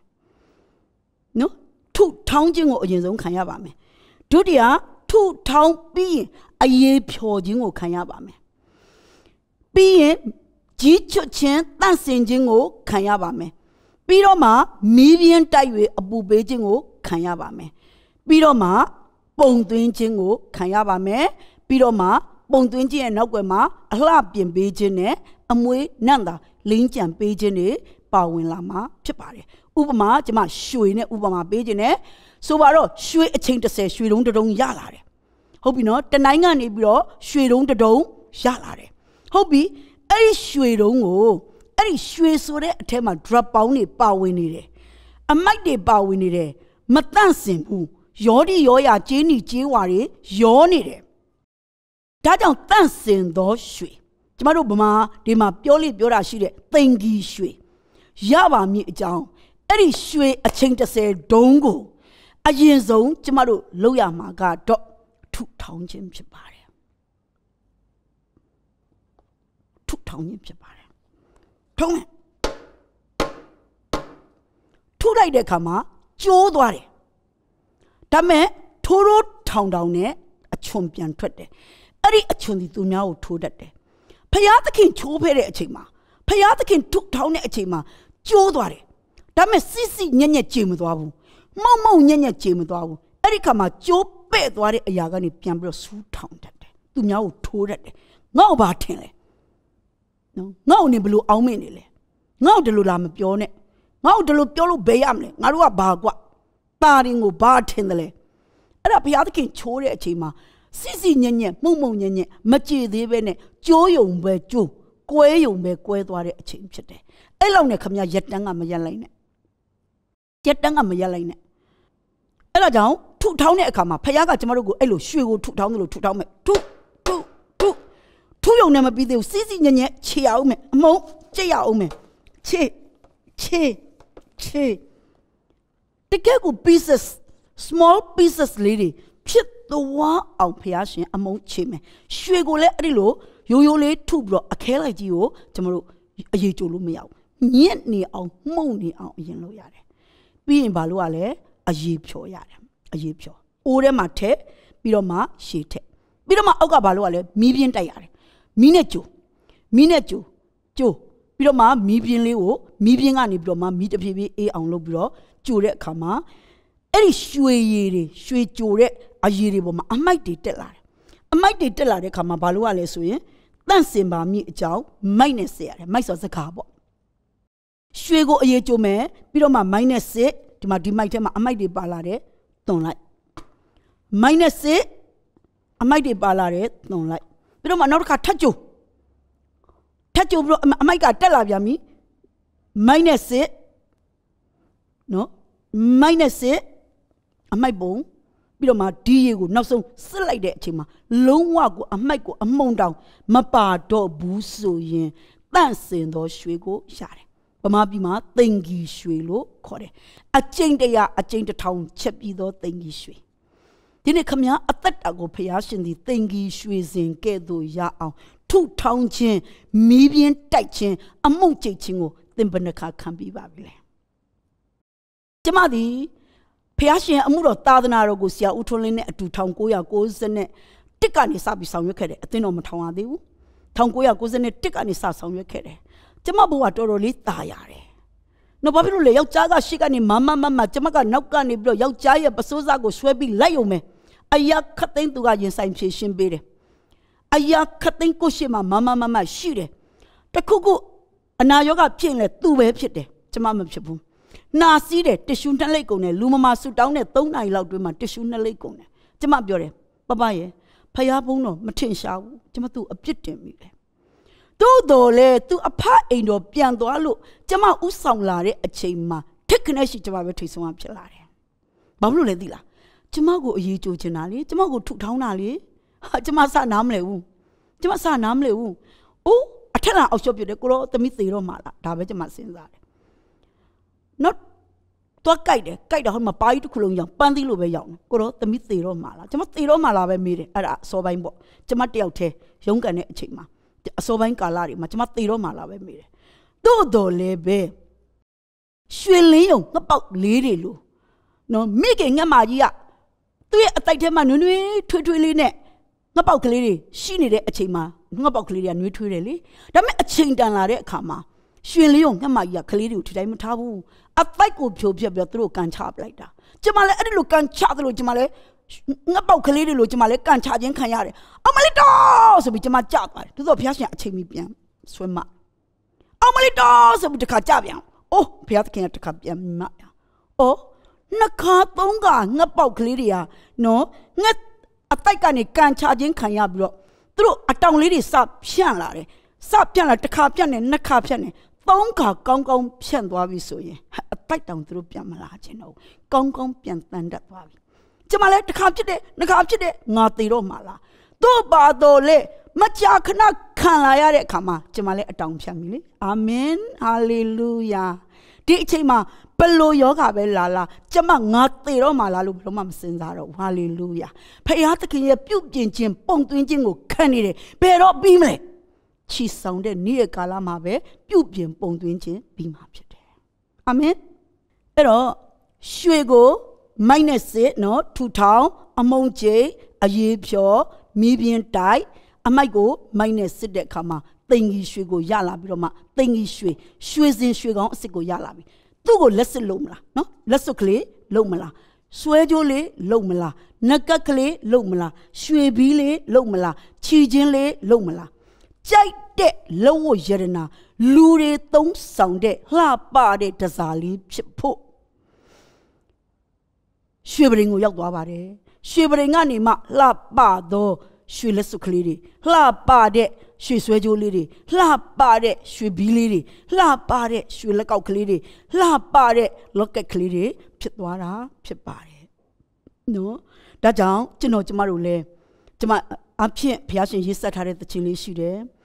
သခင်ဖျားနေတဲ့ဆရာသူတပါသုံးဆောင်ဆရာချစ်ဖွယ်ချိုမြိန်တဲ့အသီးမှန်ကန်သောအသီးနူးညံ ဝမ်းမြောက်တဲ့အသီးလေးများသီလာပြီအဲ့လိုပြုပြင်ခြင်းကြီးချွတ်ခြင်းတန့်စင်ခြင်းခံတဲ့အချိန်ကြတော့မှသခင်ဖျားနှစ်သက်စရာဖြစ်လာတယ်သူတစ်ပါးသုံးဆောင်စရာဖြစ်လာတယ်သူတစ်ပါးရဲ့ level မှာအလှဆွဲတဲ့ locket ကလေးဆွဲကြိုးလေးဖြစ်လာတယ်သူတစ်ပါးစွတ်တဲ့လက်စွပ်ကလေးဖြစ်လာတယ်ရွှေဘီလေးဖြစ်လာတယ်လက်ကောက်ကလေးဖြစ်လာတယ် လှပတော့အစင်တစားဖြစ်လာတယ်သူတစ်ပါးကြည့်လိုက်ရင်နှစ်သက်တယ်ဟဲလိုချင်တယ်အဲ့ဒီ locket ကလေးငါဆွဲချင်တယ်အဲ့ဒီလက်ကောက်ကလေးငါဝတ်ချင်တယ်အဲ့ဒီလက်စွပ်ကလေးငါဝတ်ချင်တယ်ဖြစ်လာတယ်ဒီနေ့တင့်ကိုသူတစ်ပါးနှစ်သက်ပါရဲ့လားတခင်ဗျာနှစ်သက်စရာသူတစ်ပါးသုံးဆောင်စရာခမားသည်တန်ဖိုးရှိသောရွှေစင်ရွှေကောင်းဟုတ်ပါရဲ့လားဒါကြောင့်ရွှေစင်ရွှေကောင်းဖြစ်အောင်ရွှေစင်ရွှေကောင်းဖြစ်တဲ့အထိအဆင့်ကတော့မသေးပါဘူးထူထောင်ခြင်း အမှုန်ကျိတ်ခြင်းအရေးဖြောခြင်းမိပြင်းတိုက်ခြင်းမိုက်နဲ့စစ်ခြင်းပြုတ်ပြင်ပုံသွင်းခြင်းကိုခံရတာဖြစ်ပါတယ်ဓမ္မတာရင်စပြည့်ရည်ဘူးဟောင်းကနေပြီးတော့မှစပြည့်ရည်သစ်ဖြစ်လာခြင်းဖြစ်ပါတယ်ဒါကြောင့်ချစ်တော်မိဘနဲ့သားသမီးများကျမတို့ရဲ့စပြည့်ရည်အသက်တာဟောင်းဆိုတဲ့စပြည့်ရည်ဘူးဟောင်းတဲ့ကိုနော်တန်ရှင်သောဝိညာဉ်တော်ကိုဖခင်ကထည့်ပေးလိုက်ရင်အဲ့ဒီပုဂ္ဂိုလ်ဒီအနာရောဂါခံစားလာရတဲ့အခါမှာ ဘဝအခက်အခဲတွေကြုံလာတဲ့အခါမှာဒီတောင်ကိုမောင်မကျော်နိုင်တော့ဘူးဆိုပြီးတော့လက်မြောက်အရှုံးပေးသွားကြတယ်ကျွန်တော်ကျမတို့ရဲ့အသက်တာထဲမှာတန်ရှင်သောဝိညာဉ်တော်ရှိလာပြီဆိုရင်တန်ရှင်သောဝိညာဉ်တော်ရဲ့ပထမဦးဆုံးသောအလုပ်ဒီအပြစ်ဖော်ပြခြင်းဖြစ်ပါတယ်ဒုတိယကဝင်ချတောင်းပန်ရင်အပြစ်ကိုဖြေလို့ပေးခြင်းဖြစ်ပါတယ်နောက်သုံးကတော့နောင်တမယအပြစ်ဝင်ချတောင်းပန်ခြင်းမရှိရင်တော့ဖရာသခင်ရဲ့ဆုံးမခြင်းလာတာဖြစ်ပါတယ် ရှင်ယောဟန်ခရစ်ဝင်ခန်းကြီး16အငယ်၈တခုပဲဒါပေမဲ့လည်းခုနှစ်ကနေပြီးတော့30အထိဖတ်ရအောင်နော်ရှင်ယောဟန်ခရစ်ဝင်ခန်းကြီး16အငယ်၈ဒါပေမဲ့ခုနှစ်ကနေ30အထိဖတ်မယ်ငါအမှန်ကန်ဆိုသည်ကငါသွားရင်တင်တို့အကျိုးရှိလိမ့်မည်အကြောင်းမူကားငါမသွားရင်ဥပစ္စေဆရာသည်တင်တို့စီတို့မလားငါသွားရင်ထိုသူကိုတင်တို့စီတို့ငါစေလွတ်မည်ဥပစ္စေဆရာသည်ရောက်လာရင်ဒူးဆိုင် အပြစ်ကို၎င်းတေချာဖတ်ပါအပြစ်ကင်းခြင်းကို၎င်းအပြစ်စီရင်ခြင်းကို၎င်းလောကီသားတို့အားထင်ရှားစွာဖော်ပြမည်ငါကိုမယုံကြည်ကြသောကြောင့်ဒုစရိုက်အပြစ်ကိုဖော်ပြမည်ငါသည်ခမည်းတော်ထံသို့သွားမည်ဖြစ်၍တင်တို့သည်နောက်တစ်ဖန်ငါကိုမတွေ့မမြင်ရသောကြောင့်အပြစ်ကင်းခြင်းကိုဖော်ပြမည်ဤလောကကိုအစိုးရသောမင်းသည်အပြစ်စီရင်ခြင်းကိုခံရသောကြောင့် အပြစ်စီရင်ခြင်းကိုဖော်ပြမည်ဒါကြောင့်ကျွန်တော်ကျမတို့ယေရှုခရစ်တော်ကိုစိတ်လုံးကျွေးမဲ့ခင်ဗျားတို့ယုံကြည်လက်ခံပြီးပြီလားယုံကြည်လက်ခံရဲ့ဝိညာဉ်တော်ပါပါလာပြီအဲ့တော့ခမည်းဆက်လက်ပြီးတော့တိုးဝင်ရင်အဲ့ဒီတန်ရှင်သောဝိညာဉ်တော်ရဲ့အလုတ်စီအပြစ်ဖော်ပြတဲ့အလုတ်တချို့သောသူများနေမကောင်းဖြစ်တယ်သူများတွေကပြောတယ်ပင်လုံမှာသွားဆူတောင်းခံလေတလောက်သူများတွေယောဂါတွေပျောက်နေတာကင်ဆာတွေတောင်ပျောက်နေတာ AIDS တွေတောင်ပျောက်နေတာဝါယူပြန်တွေတောင်ပျောက်နေတာနေသွားဆူတောင်းခံလိုက်ပါလားလို့ ပြောတဲ့အခါမှာအဲ့ဒီလိုလူမျိုးတွေကဘာပြောလဲသီလားမသွားရဲဘူးတဲ့အပြစ်တွေဖော်ပြမှာဆိုလို့တဲ့ငါလောက်တာတွေပေါ်ကုန်မယ်တဲ့ချစ်တော်မိဘများနဲ့သားသမီးများအသင်းတော်ကအပြစ်ကိုဖော်ပြတယ်တန်ရှင်သောဝိညာဉ်တော်ကအပြစ်ကိုဖော်ပြတယ်ဆိုတာမုန်းလို့ဖော်ပြတာမဟုတ်ဘူးချစ်လို့အဲ့ဒီအပြစ်တွေဝင်ချတောင်းပန်စေခြင်းလို့အဲ့ဒီအပြစ်တွေကင်းမှတန်ရှင်သောဝိညာဉ်တော်ကိုသွန်လောင်းပေးလို့ရမှာဖြစ်လို့နော်ဒါကြောင့်အပြစ်ကိုဖော်ပြတာ အမြင်ကတ်တဲ့ပုံမှန်နဲ့အပြစ်ကိုဖော်ပြနေတာမဟုတ်ဘူးတချို့သောဆရာတွေပြောတတ်ကြတယ်ပရောဖက်ပြုတယ်ဆိုတာလူကိုတက်တာစေရမယ်အဲ့ဒီလိုမျိုးပြောကြတယ်ဟုတ်ပြီသူတို့တက်တာစေတယ်ဆိုတာဘယ်လိုဟာမျိုးလဲသိလားတချို့သောသူတွေမှာတက်တာစေတယ်ဆိုမင်းနိုင်ငံခြားသွားရမယ်ဟာကောင်းကြီးတွေအများကြီးခံစားရမယ်အာတက္ကရာ2021ဒီအောင်မြင်သောနှစ်ဖြစ်တဲ့ချမ်းသာသောနှစ်ဖြစ်တယ်အဲ့ဒါလူတွေကိုအစိတ်ကျွေးနေတာဖြစ်တယ်အဲ့ဒီခါမှာချမ်းလည်းမချမ်းသာ မာနကလည်းတပြားမှလျှော့လို့မရဆမမိုင်းဆိုတာအမြဲတမ်းပြောသလိုပဲဇောကြီးဆေးတဖုံလိုနေတယ်အောက်လည်းကြလို့မရအပေါ်လည်းတက်လို့မရရှိတာလေးနည်းနည်းသိတာလေးနည်းနည်းကျန်းစာတက်တာလေးနည်းနည်းနဲ့ဘဝင်လည်းချလို့မရမာနလည်းချလို့မရအပေါ်ရောက်သလားဆိုတော့လည်းမရောက်ဒါကြောင့်ခမည်းအဲ့ဒီလိုမဖြစ်စေနဲ့နော်ဖယားသခင်ဒီအပြစ်ကိုဖော်ပြပေးတဲ့အခါမှာကိုယ်နှလုံးသားကိုပြန်မြင်ပြီးတော့အပြစ်ကိုဝင်ချတောင်းပန်နိုင်အောင်အပြစ်ကိုဖော်ပြပေးတာ ကျမ်းစာမှာလည်းရေးထားတယ်လေဒီမှာကြည့်လေအငယ်ရှစ်မှာနော်ငါ့ကိုမယုံကြည်ကြတော့ကြောင့်ဒုစရိုက်အပြစ်ကိုငါဖော်ဖို့ဖော်ပြပေးအောင်မှာရိုင်းရိုင်းပြောမယ်ခမရလှုပ်ဝထားတာတွေအလုံးဖော်ပြမှာတန်ရှင်သောဝိညာဉ်တော်ကခမရလွန်ခဲ့တဲ့စနစ်ကဘာလုပ်ခဲ့တဲ့အကုန်သိတယ်ခမရအမေဘိုက်ထဲကမွေးလာတဲ့အချိန်ကတည်းကခမရဘာဖြစ်ခဲ့တယ်ဆိုအကုန်သိတယ်တချို့သောကလေးတွေမွေးလာတယ်တက်တန်းကုန်တယ်သေကန်ကြီးဖြစ်တယ်ကြည့်လိုက် ဘာတွေ့ရလဲသူတို့ရဲ့မိဘများရဲ့အခက်အခဲကြောင့်ဒီကလေးဒီဘိုက်ထဲမှာကလေးကဝိညာဉ်ညှိုးငယ်ပြီးတော့မွေးဖွားလာတဲ့အခါမှာလဲမတမဆွမ်းလေးတွေမွေးလာတယ် problem child လေးတွေမွေးလာတယ်နောက်ပြီးသူ့ရဲ့တက်တန်းကုန်နေတယ်တိလာသားလေးကသူ့ဝိညာဉ်ဘာပြောလဲမနေချင်ဘူးတဲ့လောကကြီးမှာအသက်မရှင်ချင်ဘူးဟာလာသားလေးကနှစ်သားလေးက အသက်မရှင်ချင်ဘူးတဲ့အယံတနာဖို့ကောင်းတယ်မိဘရဲ့စိုးမွေမိဘပြောသမျှဆိုသမျှမိဘလုတ်ခဲ့သမျှဒီဘိုက်ထဲကကလေးကခံရတယ်ဒါကြောင့်ဖယားသခင်သည်အပြစ်ကိုဖော်ပြမယ်ဝင်ချတောင်းမှန်ဝင်ချတောင်းမှန်သူဘာလုပ်မလဲဟုတ်ပြီမင်းဝင်ချတောင်းမှန်နာကောင်းတယ်မင်းအပြစ်လွတ်ပြီဒီအပြစ်တော့လွတ်ပြီဒီအပြစ်တော့မလွတ်သေးဘူးဒီအပြစ်တော့လွတ်ပြီဒါတော့ရှင်းသွားပြီ နော်မင်းမတရားသောမိထုံအပြစ်ကတော့လွတ်သွားပြီလူသက်ချင်းအပြစ်ကြံသေးတယ်အဲ့ဒီလိုမျိုးဝင်ချတောင်းမှန်ရင်တောင်းမှန်တယ်လို့အပြစ်လွတ်ကြောင်းဖော်ပြပေးတယ်ဒါဝိညာဉ်တော်ရဲ့အလုပ်နောက်ဝိညာဉ်တော်ရဲ့အလုပ်နံပါတ်3ကတော့အပြစ်ကိုလည်းနောင်တမရဝင်ချတောင်းမှန်ခြင်းလည်းမရှိဆိုရင်တော့အပြစ်စီရင်ခြင်းကိုဖော်ပြမည်တဲ့ဒါကြောင့်အပြစ်စီရင်ခြင်းကပင်လုံတင်တော့မှာတင်တန်းတဖူးသူတိုင်းသိတယ် S1 နံပါတ်2 S2 S1 equal to stick ဒုတ် ရိုက်တဲ့ဒုတ်ချိန်လုံးနော်အပြစ်ကိုဝင်ချတောင်းပန်ခြင်းမရှိနောင်တမရရင်ဖယားသခင်သည် စီးပွားပြက်ခြင်းစီးပွားကြခြင်းနော်လင်းနဲ့မရအတူတကွမနေရခြင်းသားသမီးတွေမိဘစကားနားမထောင်ခြင်းနော်အနာယောဂနဲ့ဖယားရှင်က S1 ပေးတယ်ဒုတ်နဲ့ရိုက်တယ်ဒုတ်နဲ့ရိုက်တဲ့အချိန်မှာသဘောပေါက်လေသဘောမပေါက်ရင်ကြောပေါက်မှာပေါ့နော်တရားဟောရကျမ်းအခန်းကြီး28မဖတ်ဘူးဟဂဲအနာဂတိကျမ်း1နှစ် ဖတ်လိုက်စပဘုံကိုလာတယ်ဟာငါတော့ဒီနှစ်တော့စံအတင်း90ရမှာပဲလာတယ်ဒါပေမဲ့အနာရောက်တော့တကယ်တမ်းကျတော့တင်း20ပဲရတယ်စပြည့်အိုး90ရမှာပဲလာတယ်ဒါပေမဲ့အိုး20ပဲရှာတယ်ဘာဖြစ်လို့လဲအပြည့်အဝမရဘူးဖះရှင်ကပြောတယ်မင်းကငါကောင်းကြီးပေးတယ်ဒါပေမဲ့မင်းကအဲ့ဒီကောင်းကြီးခံထိုက်တဲ့လူမဟုတ်တဲ့အခါမှာငါကတဲ့မင်းနာကိုရောက်ခါမှာကျမကိုကြည့်ပါမင်းရဲ့အနာလေးကိုအဲ့ဒီကောင်းကြီးရောက်ခါမှာငါမှုတ်ထုတ်လိုက်တယ်တဲ့ ဒီဒီကောင်းကြီးမှုတ်ထုတ်ခြင်းများခံရရသလားစာရန်ကိုတော့အပြစ်မတင်နဲ့စာရန်မဟုတ်ဖះရှင်ကိုယ်တိုင်မှုတ်လိုက်တာဘယ်သူကတော့ဘလို့ပါလို့ခမရသူ့မှာအပြစ်မတင်နဲ့ဖះမှုတ်ပလိုက်ပြီအဲ့ဒါ S1 နော်ဘုရားသခင်ဆုံးမခြင်းဟုတ်ပြီ S1 နဲ့စီးပွားလေးပြက်စီးပွားလေးကြငွေကြေးအခက်အခဲလေးရှိတခါတခါချက်စရာစံတောင်မရှိ အနာယောဂလေးကဖြစ်ဆေးုံလေးပြည့်တက်လိုက်ရ ဖြစ်နေတာတောင်ကိုကိုကိုသဘောမပေါက်ရင်တော့နောက်ထပ် S2 ရောက်လာမယ် S2 equal to save ရင်ခွဲယုံတွေနော်အတုပအမ်ဟုတ်တယ်ရင်ခွဲယုံတွေမှာနိုင်ငံခြားမှာပေါ့နော်ဗမာပြည်တော့ကျွန်မမသိဘူး။မှာသူတို့ကအန်ဇွဲလေးနဲ့ထားတယ်။အန်ဇွဲလေးနဲ့နာမည်လေးတွေနဲ့အန်ဇွဲလေးတွေဒီလိုစုပ်ဖွင့်လိုက်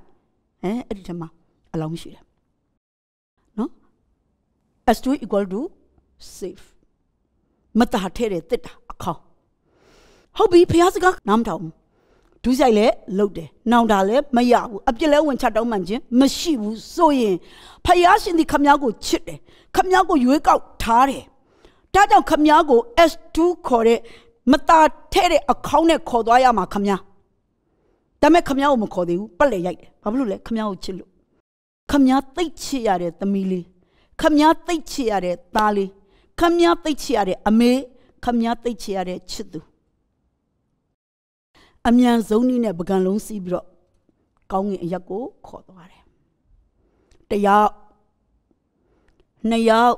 ဖျားသခင်အယံကိုမေတ္တာရှိတဲ့ဖျားအယံကိုတရားမျှတတဲ့ဖျားချက်ချင်းကြီးခမည်းကိုမခေါ်ဘဲနဲ့သူပက်လေရိုက်ပေးပါတယ်သို့တော့တယောက်ခေါ်လဲခမည်းကနောင်တမရနှစ်ယောက်ခေါ်လဲနောင်တမရတဲ့အခါကျတော့မကဲအင်းရှိမှခေါင်းတစ်လုံးထက်ရောက်လာမယ် တာရီဒီတခါတော့မင်းမဲလိုက်ခဲ့တော့ခမ ्या ငရေတော့မသွားပါဘူးငရေတော့မသွားပါဘူးကောင်းကင်ကို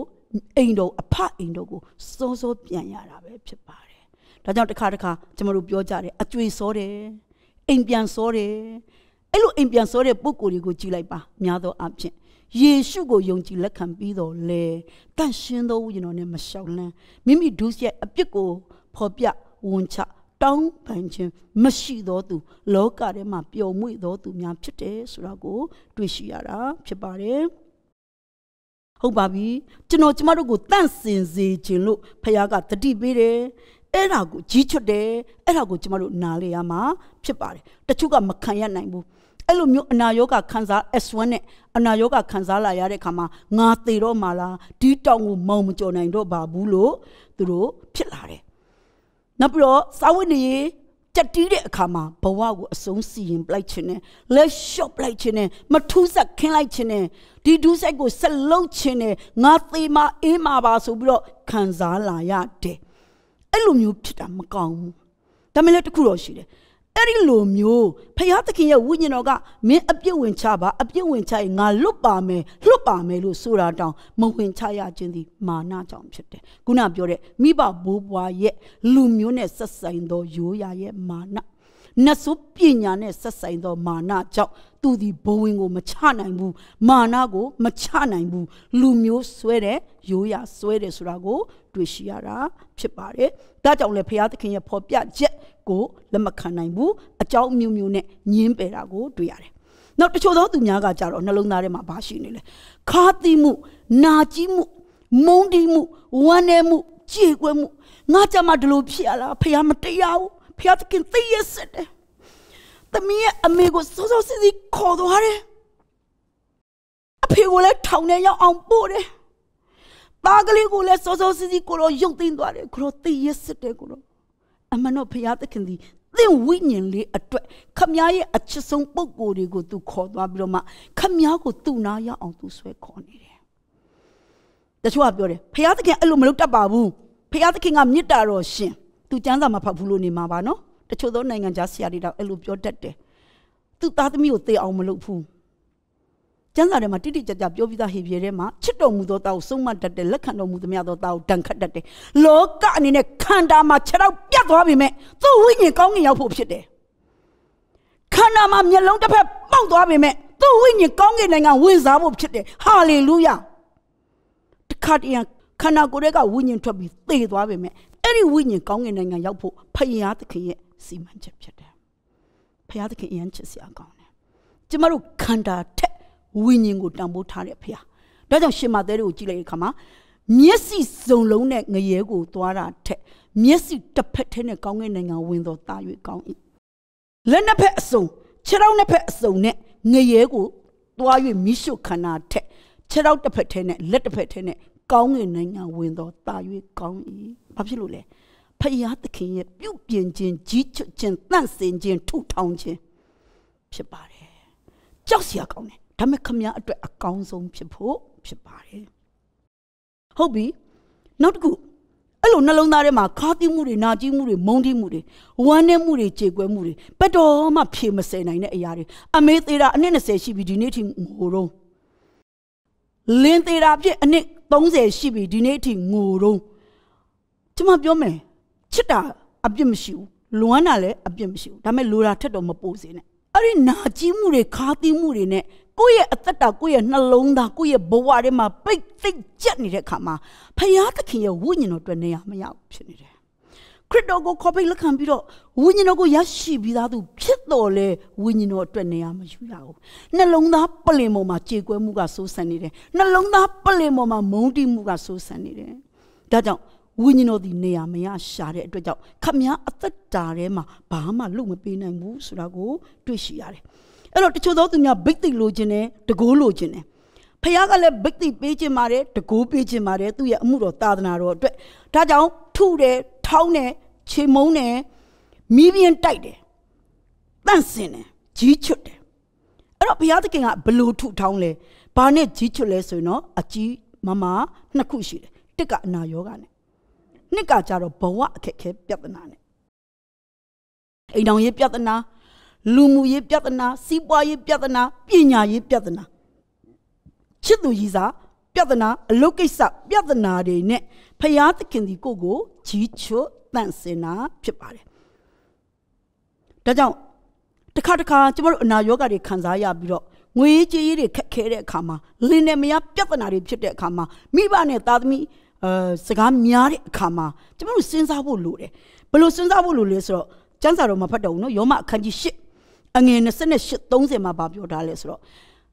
ဖျားသခင်ကိုချစ်တော်မူသောသူနော်ကြံစီတော်မူခြင်းအတိုင်းခေါ်တော်မူသောသူတို့ရဲ့အကျိုးကိုခတ်သိမ်းသောအရာတို့သည်တညီတညွတ်တဲ့ပြုစုလျက်ရှိကြတယ်အဲ့တော့ခတ်သိမ်းသောအရာက အကျိုးကိုပြုစုတယ်ကို့အကျိုးကိုပြုစုတယ်လို့ပြောတဲ့ကမှာခတ်သိမ်းသောအရာဆိုတာကောင်းတာတွေရမှခမည်းအကျိုးပြုစုတာမဟုတ်ဘူးခမည်းပိုက်ဆံရမှငွေတွေဝင်မှလက်လာပါတွေရွှင်မှခမည်းအကျိုးကိုပြုစုတာမဟုတ်ကျမ်းမာနေမှတောင်းတောင်းမြည်နေမှအလုတ်ကိုလုံနိုင်နေမှခမည်းအကျိုးကိုပြုစုတာမဟုတ်ဘူးခမည်းအိပ်ရထဲမှာလဲသွားရခြင်းသည်ပင်ခမည်းအကျိုးကိုပြုစုတယ်ကျွန်မအိပ်ရထဲမှာမကြခဏလဲရပါတယ် တကယ်ပဲအကျိုးကိုပြုစုတယ်ကျွန်မအိပ်ရထဲမှာများများလဲလေလေဖះနဲ့နီးလေလေအလုတ်တွေအများကြီးလုပ်လေလေဧဝံဂေလိခရီးစဉ်သာသနာပြုခရီးစဉ်တွေထွက်လေလေဖះနဲ့ဝေးလေလေအဲ့တော့မထွက်ရတော့ဘူးလားမထွက်ရဘူးလို့ပြောတာမဟုတ်ဘူးအယံမောပန်းပြီးတော့အယံအချိန်ကုန်တဲ့အခါမှာဖယားနဲ့ချစ်ချင်းမေတ္တာရှေးဥစွာသောမေတ္တာပြန်လဲတိဆောက်ဖို့အချိန်တွေရော့နေသွားတာဖြစ်တယ်။သို့တော်လဲတစုံတစ်ခုသောအကြောင်းအရာကြောင့်ကျွန်မအိပ်ရထဲမှာလဲသွားတဲ့အချိန်မှာထိုင်နေလဲ သူနဲ့ပဲထနေလဲသူနဲ့ပဲလှဲနေလဲသူနဲ့ပဲအိတ်နေလဲသူနဲ့ပဲနှစ်ယောက်တကဘာတိဆောက်လို့ရတဲ့အခါမှာဝိညာဉ်ရေးမှာတာ၍အားရှိလာတာဖြစ်တယ်။အာမင်။ကျမအထက်ကမကောင်းတာတွေဖျားရှင်အကုန်စင်ချုပ်ပေးတယ်အခြားသောဘုရားနဲ့ဆက်ဆိုင်တဲ့အရာမကောင်းတဲ့နှလုံးသားတွေကအရာတွေဖျားရှင်ချွတ်ပေးလေလေအနာယောဂနဲ့ကျမအိပ်ရတဲ့မှာလဲလေလေတန့်စင်လာလေလေဖြစ်ပါတယ်ဟုတ်ပြီဒါကြောင့် ကောင်းတဲ့အရာကမှကျမတို့အကျိုးကိုပြုစုတာမဟုတ်ဘဲနဲ့ကျမတို့မကောင်းဘူးလို့ထင်ရတဲ့အရာတွေငွေကြေးကြက်တီးခြင်းစီးပွားကြက်တီးခြင်းလင်းနေမယားပြဿနာဖြစ်ခြင်းသားသမီးစကားနားမထောင်ခြင်းအပေါ်ယံကြည့်လိုက်ရင်ဒါတွေတခုမှမကောင်းဒါပေမဲ့ထိုးအရာအပြစ်ခမည်းကဖယားရှိမှထူထောက်ရမယ်ထိုးအရာအပြစ်ခမည်းဖယားရှိကိုတာ၍တိုးဝင်ရမယ်အဲ့ဒီခါမှာဖယားသခင်ဒီအကောင်းဆုံးပြင်ဆင်ပေးတာဖြစ်ပါတယ်ဟုတ်ပြီတခုတော့ရှိတယ် ဖယားရဲ့အမှုတော်မှာပါဝင်ခြင်းနဲ့စက္ကပ်ခြင်းနဲ့အသုံးတော်ခံခြင်းနဲ့ဆိုတဲ့အရာသည်ကိုကြိုးအတွက်မဖြစ်ရအောင်ခမည်းနာမည်ကြီးဖို့မဖြစ်ရအောင်ပိုက်ဆံရဖို့မဖြစ်ရအောင်ခမည်းပဲကောင်းစားဖို့မဖြစ်ရဘူးအမှုတော်မှာပါဝင်ခြင်းနဲ့စန္ဒသည်တစ်ဖယားရှင်ကိုချစ်လို့ပါဝင်ခြင်းသာဖြစ်ရမယ်နံပါတ်1ပျောက်ဆုံးဝိညာဉ်ကိုတကယ်ချစ်ပြီးတော့မှတကယ်စေရနာရှိလို့ပါဝင်တာပဲဖြစ်ရမယ်အဲ့လိုရည်ရွယ်ချက်နဲ့ပါဝင်နေဆိုရင်တော့ဘိတ်သိက်ကို တတကိုးကိုခမည်းတောင်းစရာမလိုပဲနဲ့ဖယားရှင်ဒီခမည်းကိုတန့်စင်ပေးမယ်ကြီးချွတ်ပေးမယ်ခမည်းထက်ကမှောင်မိုက်တကိုးစပြည့်ရည်ဘူးဟောင်းရဲ့အသက်တာကျွတ်လေလေခမည်းအထက်ကိုစပြည့်ရည်အသက်ဆိုတဲ့တန့်ရှင်းသောဝိညာဉ်တော်ကိုထည့်ပေးလို့ရလေလေပဲဖြစ်ပါတယ်ဒါကြောင့်ကျမတို့အဲ့လိုအနာရောဂါတွေခံစားရတဲ့အခါအခက်အခဲတွေကြုံတွေ့ရတဲ့အခါမှာ ဖျားလုံနေတပါလားဆိုတာကိုသိရမှာဖြစ်ပါတယ်ဝန်ခံရမှာဖြစ်ပါတယ်ဒါပေမဲ့အော်ငါ့ကိုဖျားလုံနေတာပဲဆိုပြီးခမငုတ်တုတ်ကြီးထိုင်နေလို့တော့မရဘူးပက်လက်ကြီးလှန်နေလို့တော့မရဘူးကိုတော့ကိုရောအလိုရှိသည့်တိုင်သားကိုပြုပြင်ပါကိုရောအလိုရှိသည့်တိုင်သမီးကိုပုံသွင်းပါသမီးစပြည့်ရည်ဘူးဟောင်းမဖြစ်ချင်တော့ပါဘူးသားစပြည့်ရည်ဘူးဟောင်းမဖြစ်ချင်တော့ပါဘူးစပြည့်ရည်ဘူးတစ်ဖြစ်ချင်ပါတယ်ဒါမှကိုရဲ့ဝိညာဉ်တော်ကိုကိုရောအသစ်တော်မိအသစ်တော်ဗိသိက်စီ အသစ်တော်စပြည့်ရည်တွေကိုကိုရောသွန်လောင်းပေးလို့ရမှာဘာလို့ကိုယ့်ရဲ့မိခင်ဘာသာစကားနဲ့ဝန်ခံပြီးတော့မှအခြားသောဘာသာစကားနဲ့အော်ဟစ်ပြီးတော့တောင်းလျှောက်မယ်ဆိုရင်ခမညာအထက်ကနာယီဝက်ပြောရင်နာယီဝက်စာတတ်မယ်မောင်မိုက်တကူထွက်မယ်တနာယီပြောရင်တနာယီစာမောင်မိုက်တကူထွက်မယ်များများပြောလေလေတန့်လေလေများများပြောလေတန့်လေလေတခုတော့ရှိတယ်မောင်မိုက်တကူထွက်သွားတဲ့နေရာမှာခမညာအထက်မှာ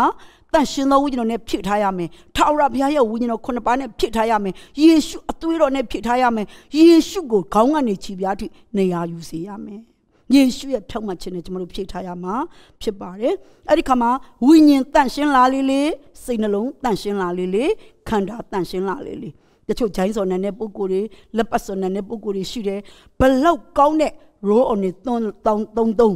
မမွေးလာတဲ့လူတွေရှိပါတယ်အဲ့ဒါဒီနောက်ခံနဲ့ဆိုအတက်ပညာနဲ့အရန်ဆက်ဆိုင်နဲ့လူတိုင်းချွတ်ထွက်တတ်ပါတယ်လူတိုင်းဂျိုင်းချွတ်ထွက်ပါထွက်တတ်ပါတယ်လူတိုင်းဂျိုင်းစော်လဲနန်တတ်ပါတယ်ဒါမဲ့လူတာထက်ပို၍အမွေးနံတာဘလောက်သုံးသုံးနန်တတ်တယ်ဆိုရင်တော့နောက်ခံနဆုပညာနဲ့ဆက်ဆိုင်ပါတယ်ဒါကြောင့်ခမည်းအထက်ကနဆုပညာထွက်လေလေခမည်းခန္ဓာကိုယ်လေးပါမွေးကြိုင်လာလေလေဖြစ်ပါတယ် ဒါကြောင့်လောဘဒေါသမောဟဇာတိအတ္တမာနတွေနဲ့ပြည့်နေတဲ့နှလုံးသားထဲမှာဝိညာဉ်တော်အလုံးလုံးလို့မရဘူးဝိညာဉ်တော်လာစကားပြောလဲခမမကြဘူးဝိညာဉ်တော်ကခမကိုတန့်စင်ကြီးချုပ်ပေးခြင်းတော့လဲတန့်စင်ကြီးချုပ်ပေးလို့မရဘူးဒါကြောင့်ချစ်တော်ယုံကြည်သူများနားလေထားဖို့တခုပြောခြင်းနဲ့ဘိသိက်လိုခြင်းနဲ့တကိုးနဲ့အမှုတော်ဆောင်ခြင်းနဲ့အနံထားရင်ဖျားလဲသိတယ်ကြားတယ်သင်ကိုပြုတ်ပြမယ်ကြီးချွတ်မယ်ထုထောင်းမယ် အဲ့ဒါကိုနားမလည်တဲ့အတွက်ကြောင့်သားမခံနိုင်တော့ပါဘူးလို့မပြောပါနဲ့တခုတော့ရှိပါတယ်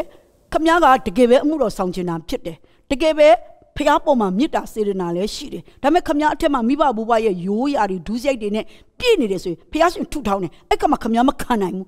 အိုးကိုရောသားမခံနိုင်တော့ဘူးသမီးမခံနိုင်တော့ဘူးဒီပြဿနာတွေကိုသားမကြုံကျင်တော့ဘူးလို့ပြောရင်ဖះခဏနားမယ်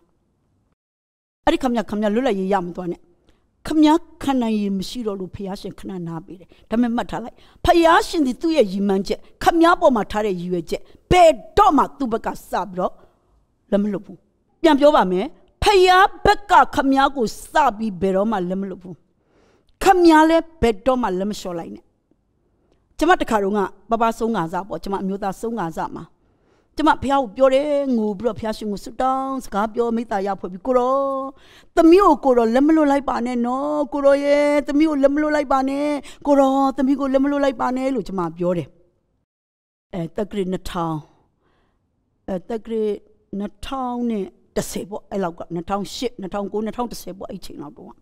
တော့ဘုရားရှင်ကကျမကိုဘာပြောလဲသိလား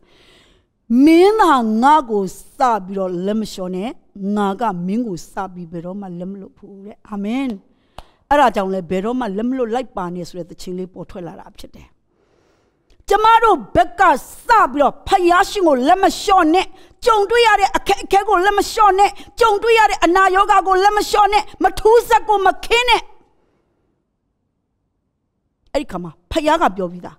ငါဘယ်တော့မှမင်းကိုလက်မလွတ်ဘူး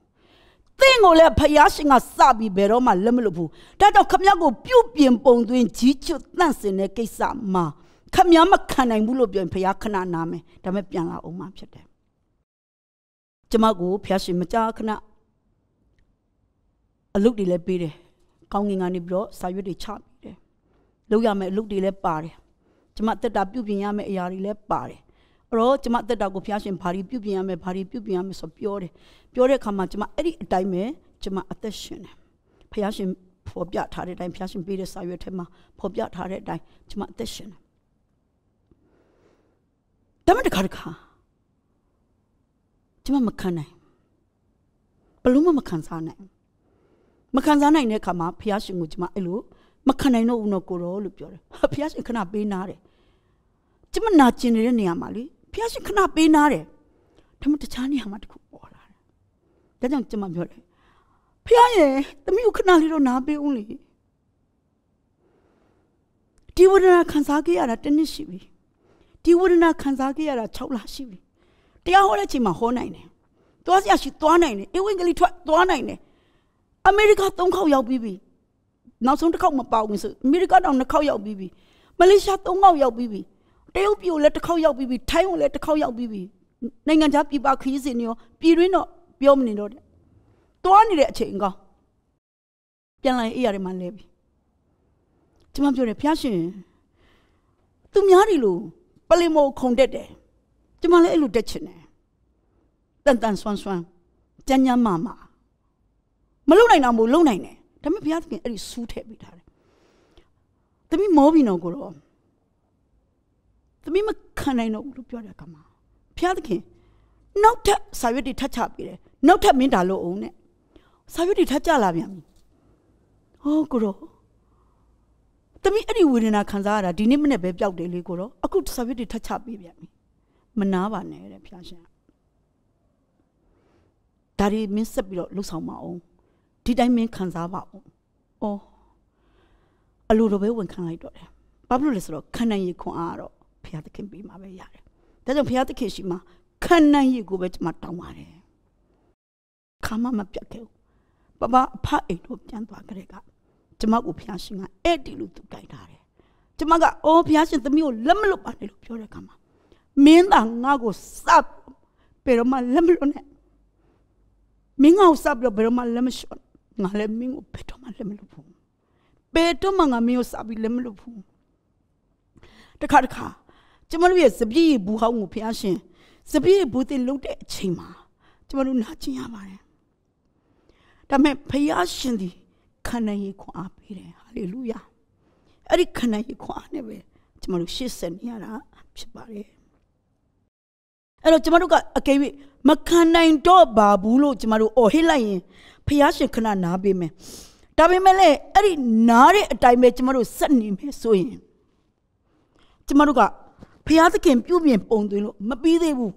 ကျမတို့ကအဲ့ဒီလိုမီးလိမ်ဖင်ဆောင်ဖြစ်နေတယ်ပုံပြက်ပန်းပြက်ဖြစ်နေတယ်အိုးရွက်စလောင်းရွက်ဖြစ်နေတယ်ဘာဖြစ်လို့လဲဖះသခင်ကပုံစံကြကြပုံသွင်းလို့မရသေးတဲ့အတွက်ကြောင့်ဖြစ်တယ်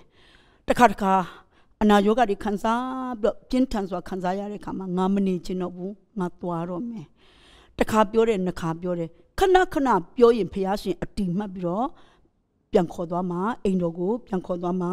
ဖြစ်ပါတယ်အဲ့တော့ကျမတို့ကသွားတော့မယ်လို့မပြောမချင်းဖះဘက်ကလည်းလက်မလွတ်သလိုကျမတို့ဘက်ကလည်းသွားတော့မယ်လို့မပြောပါနဲ့လက်မလျှော့ပါနဲ့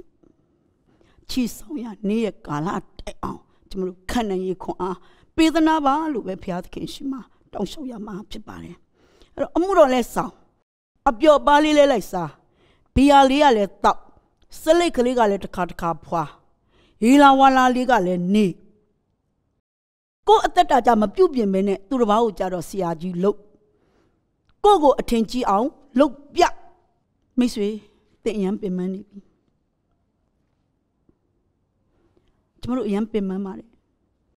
ဝိညာဉ်တော်ကိုအပြည့်အဝအားကိုဖို့လိုတယ်ဝိညာဉ်တော်ရဲ့ပြုပြင်ပုံသွင်းကြီးချွတ်တန့်စင်ခြင်းကိုကျမတို့ခံဖို့လိုတယ်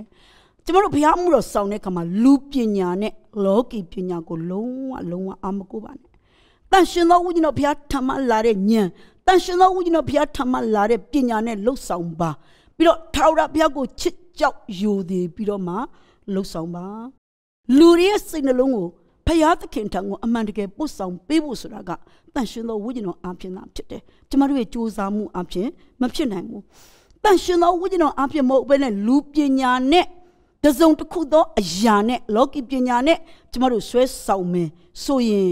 ဖယားသခင်ကခမည်းတကယ်လို့ချင်တာဖြစ်တယ်ဒါပေမဲ့ဝိညာဉ်တော်မရှိလို့အဲ့ဒီလိုလောကအရာတွေနဲ့ဆွဲဆောင်နေတယ်ဆိုရင်ဘုရားသခင်ကိုတောင်းပါလောကီပညာမပါပဲ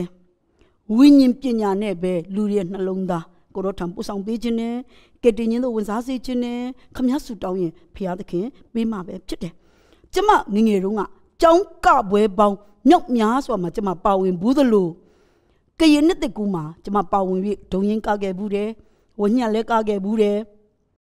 နောက်ဖះเจ้าမှာဆယ်တန်းเจ้าသားတက္ကသိုလ်เจ้าသားဘဝမှာပင်လျင်ကိုယ်တိုင်ပြတ်ဆက်ရေးတယ်ကိုယ်တိုင်ဇညွန်းရေးတယ်ကိုယ်တိုင်သရုပ်ဆောင်တဲ့အရာတွေကိုကျွန်မလှုပ်ဆောင်ခဲ့တဲ့သူတယောက်ဖြစ်ပါတယ်။နောက်ပေလုံသင်းတော်တီထောင်ချိန်မှာလဲပြတ်ဆက်ပေါင်းမြောက်များစွာ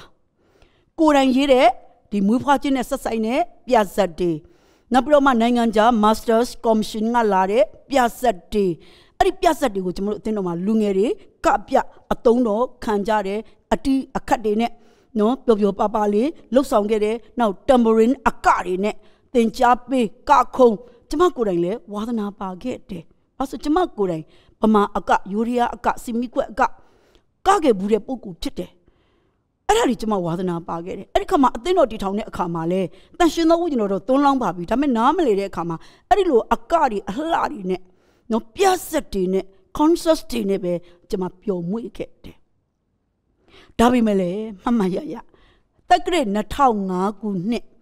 ဒီဇင်ဘာလ31ရက်နေ့မှာထိုအရာတွေအားလုံးကျမဘဝအသက်တာနဲ့ကျမရဲ့အသင်းတော်တွေကစိတ်သုံးပျောက်ကွယ်သွားတာဒီနေ့အထိပဲ လောကီပညာလောကီအစွမ်းစတွေကိုကျမလုံးဝအာမကိုတော့ပဲနဲ့တန့်ရှင်းသောဝိညာဉ်တော်ရဲ့ပညာနဲ့တန့်ရှင်းသောဝိညာဉ်တော်ရဲ့မဆာမှုကိုပဲတောင်းခံပြီးတော့အသင်းတော်မှာအလုံးလုံးလာတာဒီနေ့အထိပဲဖြစ်ပါတယ်။ဒါကြောင့်ဝိညာဉ်တော်နဲ့မသက်ဆိုင်တဲ့စိတ်နေသဘောထားတွေ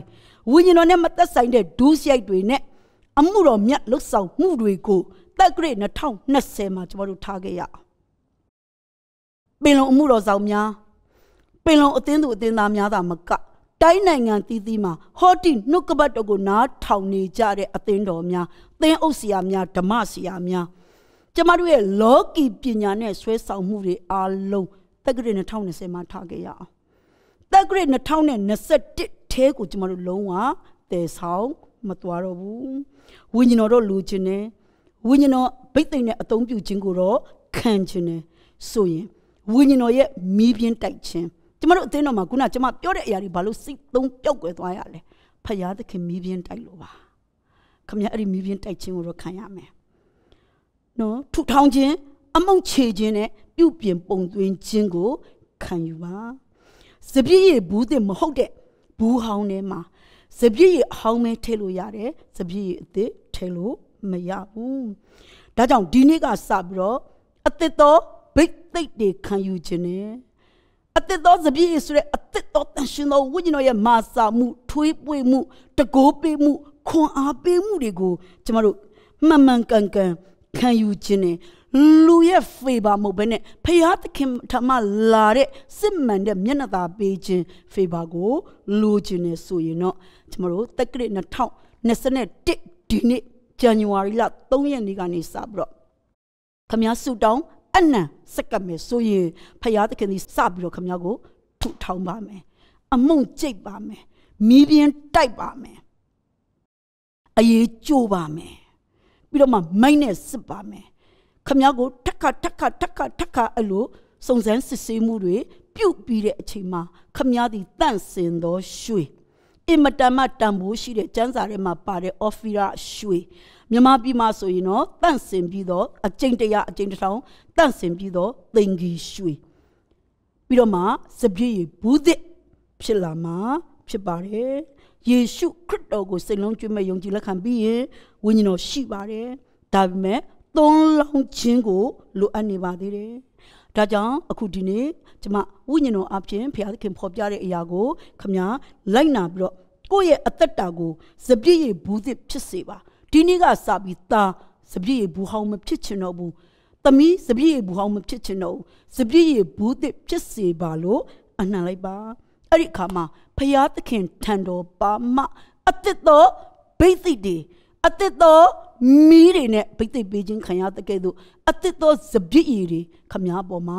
new vine နော်အသက်သောစပြည့်တွေသွန်လောင်းလာမှာဖြစ်ပါတယ်ဒါကြောင့်တမာတိဝိညာဉ်တိနဲ့အသက်ရှင်အောင်စက်ကတ်တုံးကစက်ကတ်ထားတယ်ကိုရောဘူးသစ်ဖြစ်ခြင်းနဲ့ပြီးတော့ဘူးသစ်ဖြစ်ဖို့ဘုရားသခင်လည်းထူထောင်းရောအိုးကိုရောမခံနိုင်တော့ပါဘူးတော့မလုပ်ပါနဲ့အရောက်တိုင်းဘုရားသခင်ကောင်းကြီးပေးပါစေအရောက်တိုင်းစပြည့်ဘူးဟောင်းမဖြစ်ဖက်နဲ့စပြည့်ဘူးသစ်ဖြစ်လျက်အသက်သောဘိသိက် အသက်သောဝိညာဉ်တော်ရဲ့သွန်လောင်းခြင်းကိုခံရပါစေအာမင်အခုအရောက်တိုင်းမျက်စိလေးများကိုမိတ်လက်ကလေးတွေကိုဖြန့်ပြီးတော့အသက်တာကိုစက္ကပ်ကြရအောင်ဂျေဇုတော်ကိုချီးမွမ်းလျက်အသက်တာစက္ကပ်မယ်ခမည်းတော်ဖရာသားတော်ယေရှုဖရာတန်ရှင်သောဝိညာဉ်တော်ဖရာကိုရော့ကိုဂျေဇုတင်ပါတယ်တက္ကရာ2020တလျှောက်လုံးယောဂဆိုယောဂပိုးများဂျားရမ ကိုရောသားသမီးတို့ကိုပို့ဆောင်ပေးခဲ့တယ်ဒီနေ့အထိအသက်ရှင်ရသောအခွင့်ရတယ်မိသားစုစုံလင်ရသောအခွင့်ရတယ်ယနေ့တိုင်အောင်စားတောက်နေရတယ်ကိုရောရဲ့ပို့ဆောင်ခြင်းမားစာခြင်းကျေးဇူးတော်အတွက်ချီးမွမ်းတယ်အသင်းတော်အဖြစ်နှုတ်ကပတ်တော်ကောင်းကြီးဝိညာဉ်တော်ရဲ့ကောင်းကြီးတွေကိုလည်းခံစားနေရတယ်ကျေးဇူးတော်ကိုချီးမွမ်းပါတယ် ယခုအသက်တပံတက္ကရာ2021နှစ်သစ်ဇန်နဝါရီလ3ရက်နေ့မှစ၍သားသမီးတို့ရဲ့အသက်ခန္ဓာစိတ်ဝိညာဉ်နှလုံးသားဘဝအလုံးကိုရောလက်တော်တဲ့သို့အနှံပါတယ်ရခင်ကမိဘဘိုးဘွားရဲ့ရိုးရာရိုးရာအတွေးခေါ် ရိုးရာနှဆိုးရိုးရာနှဆိုးပညာများအလုံးကိုရောအကုန်စင်ထုတ်ပေးပါဒုစရိုက်နဲ့ပြည့်နေနေတဲ့နှလုံးသားမူရစေဝါလူသက်ချင်းအတ္တမာနဘဝင်ထိုအရာတွေအလုံးအတ္တနှလုံးသားတဲကအကုန်စင်ထုတ်ပေးပါဖျားမဲ့တရားမဲ့နေခြင်းကိုတော့ဘုံတော်ကိုရှုံချစေခဲ့ခြင်းအတ္တဟောင်းကို စပြည့်ရဘူးဟောင်းကိုကိုတော့လက်တော်တဲ့သို့ယေရှုနာမနဲ့အနှံပါတယ်ယနေ့ကျွန်ုပ်ကိုစပြည့်ဘူးဟောင်းမဖြစ်စေပဲစပြည့်ဘူးသစ်ဖြစ်စေပါအတစ်တော်ဘိတ်သိက်အတစ်တော်ကောင်းကြီးအတစ်တော်တန်ရှင်သောဝိညာဉ်တော်ကိုကျွန်ုပ်အထဲသို့သွန်လောင်းပေးပါကျွန်ုပ်ရဲ့မိသားစုကျွန်ုပ်ရဲ့တငယ်ချင်းအပေါင်းအသင်း ကျွန်ုပ်ရဲ့အသင်းတော်ပေါ်မှာအသစ်သောစပြည့်ရည်များတွန်းလောင်းပေးပါအသစ်သောစပြည့်ရည်များရှံထွက်စေပါသားသမီးတို့အားဖြင့်ကိုရောဘုံကိုမိမိရှိတဲ့အရာမှာထင်ရှားစေပါသခင်ယေရှုနာမ၌ဆုတောင်းဆက်ကပ်အနံပါ၏ဖဖျားအာမင်နှစ်သက်မှာအရောက်တိုင်းပျော်ရွှင်ဝမ်းမြောက်လျက်အသစ်သောဘိသိက် အသစ်သောစပြည့်ရည်များတွန်းလောင်းခြင်းခံရပါစေအရောက်တိုင်းဖျားရှင်ကောင်းကြီးပေးပါစေ။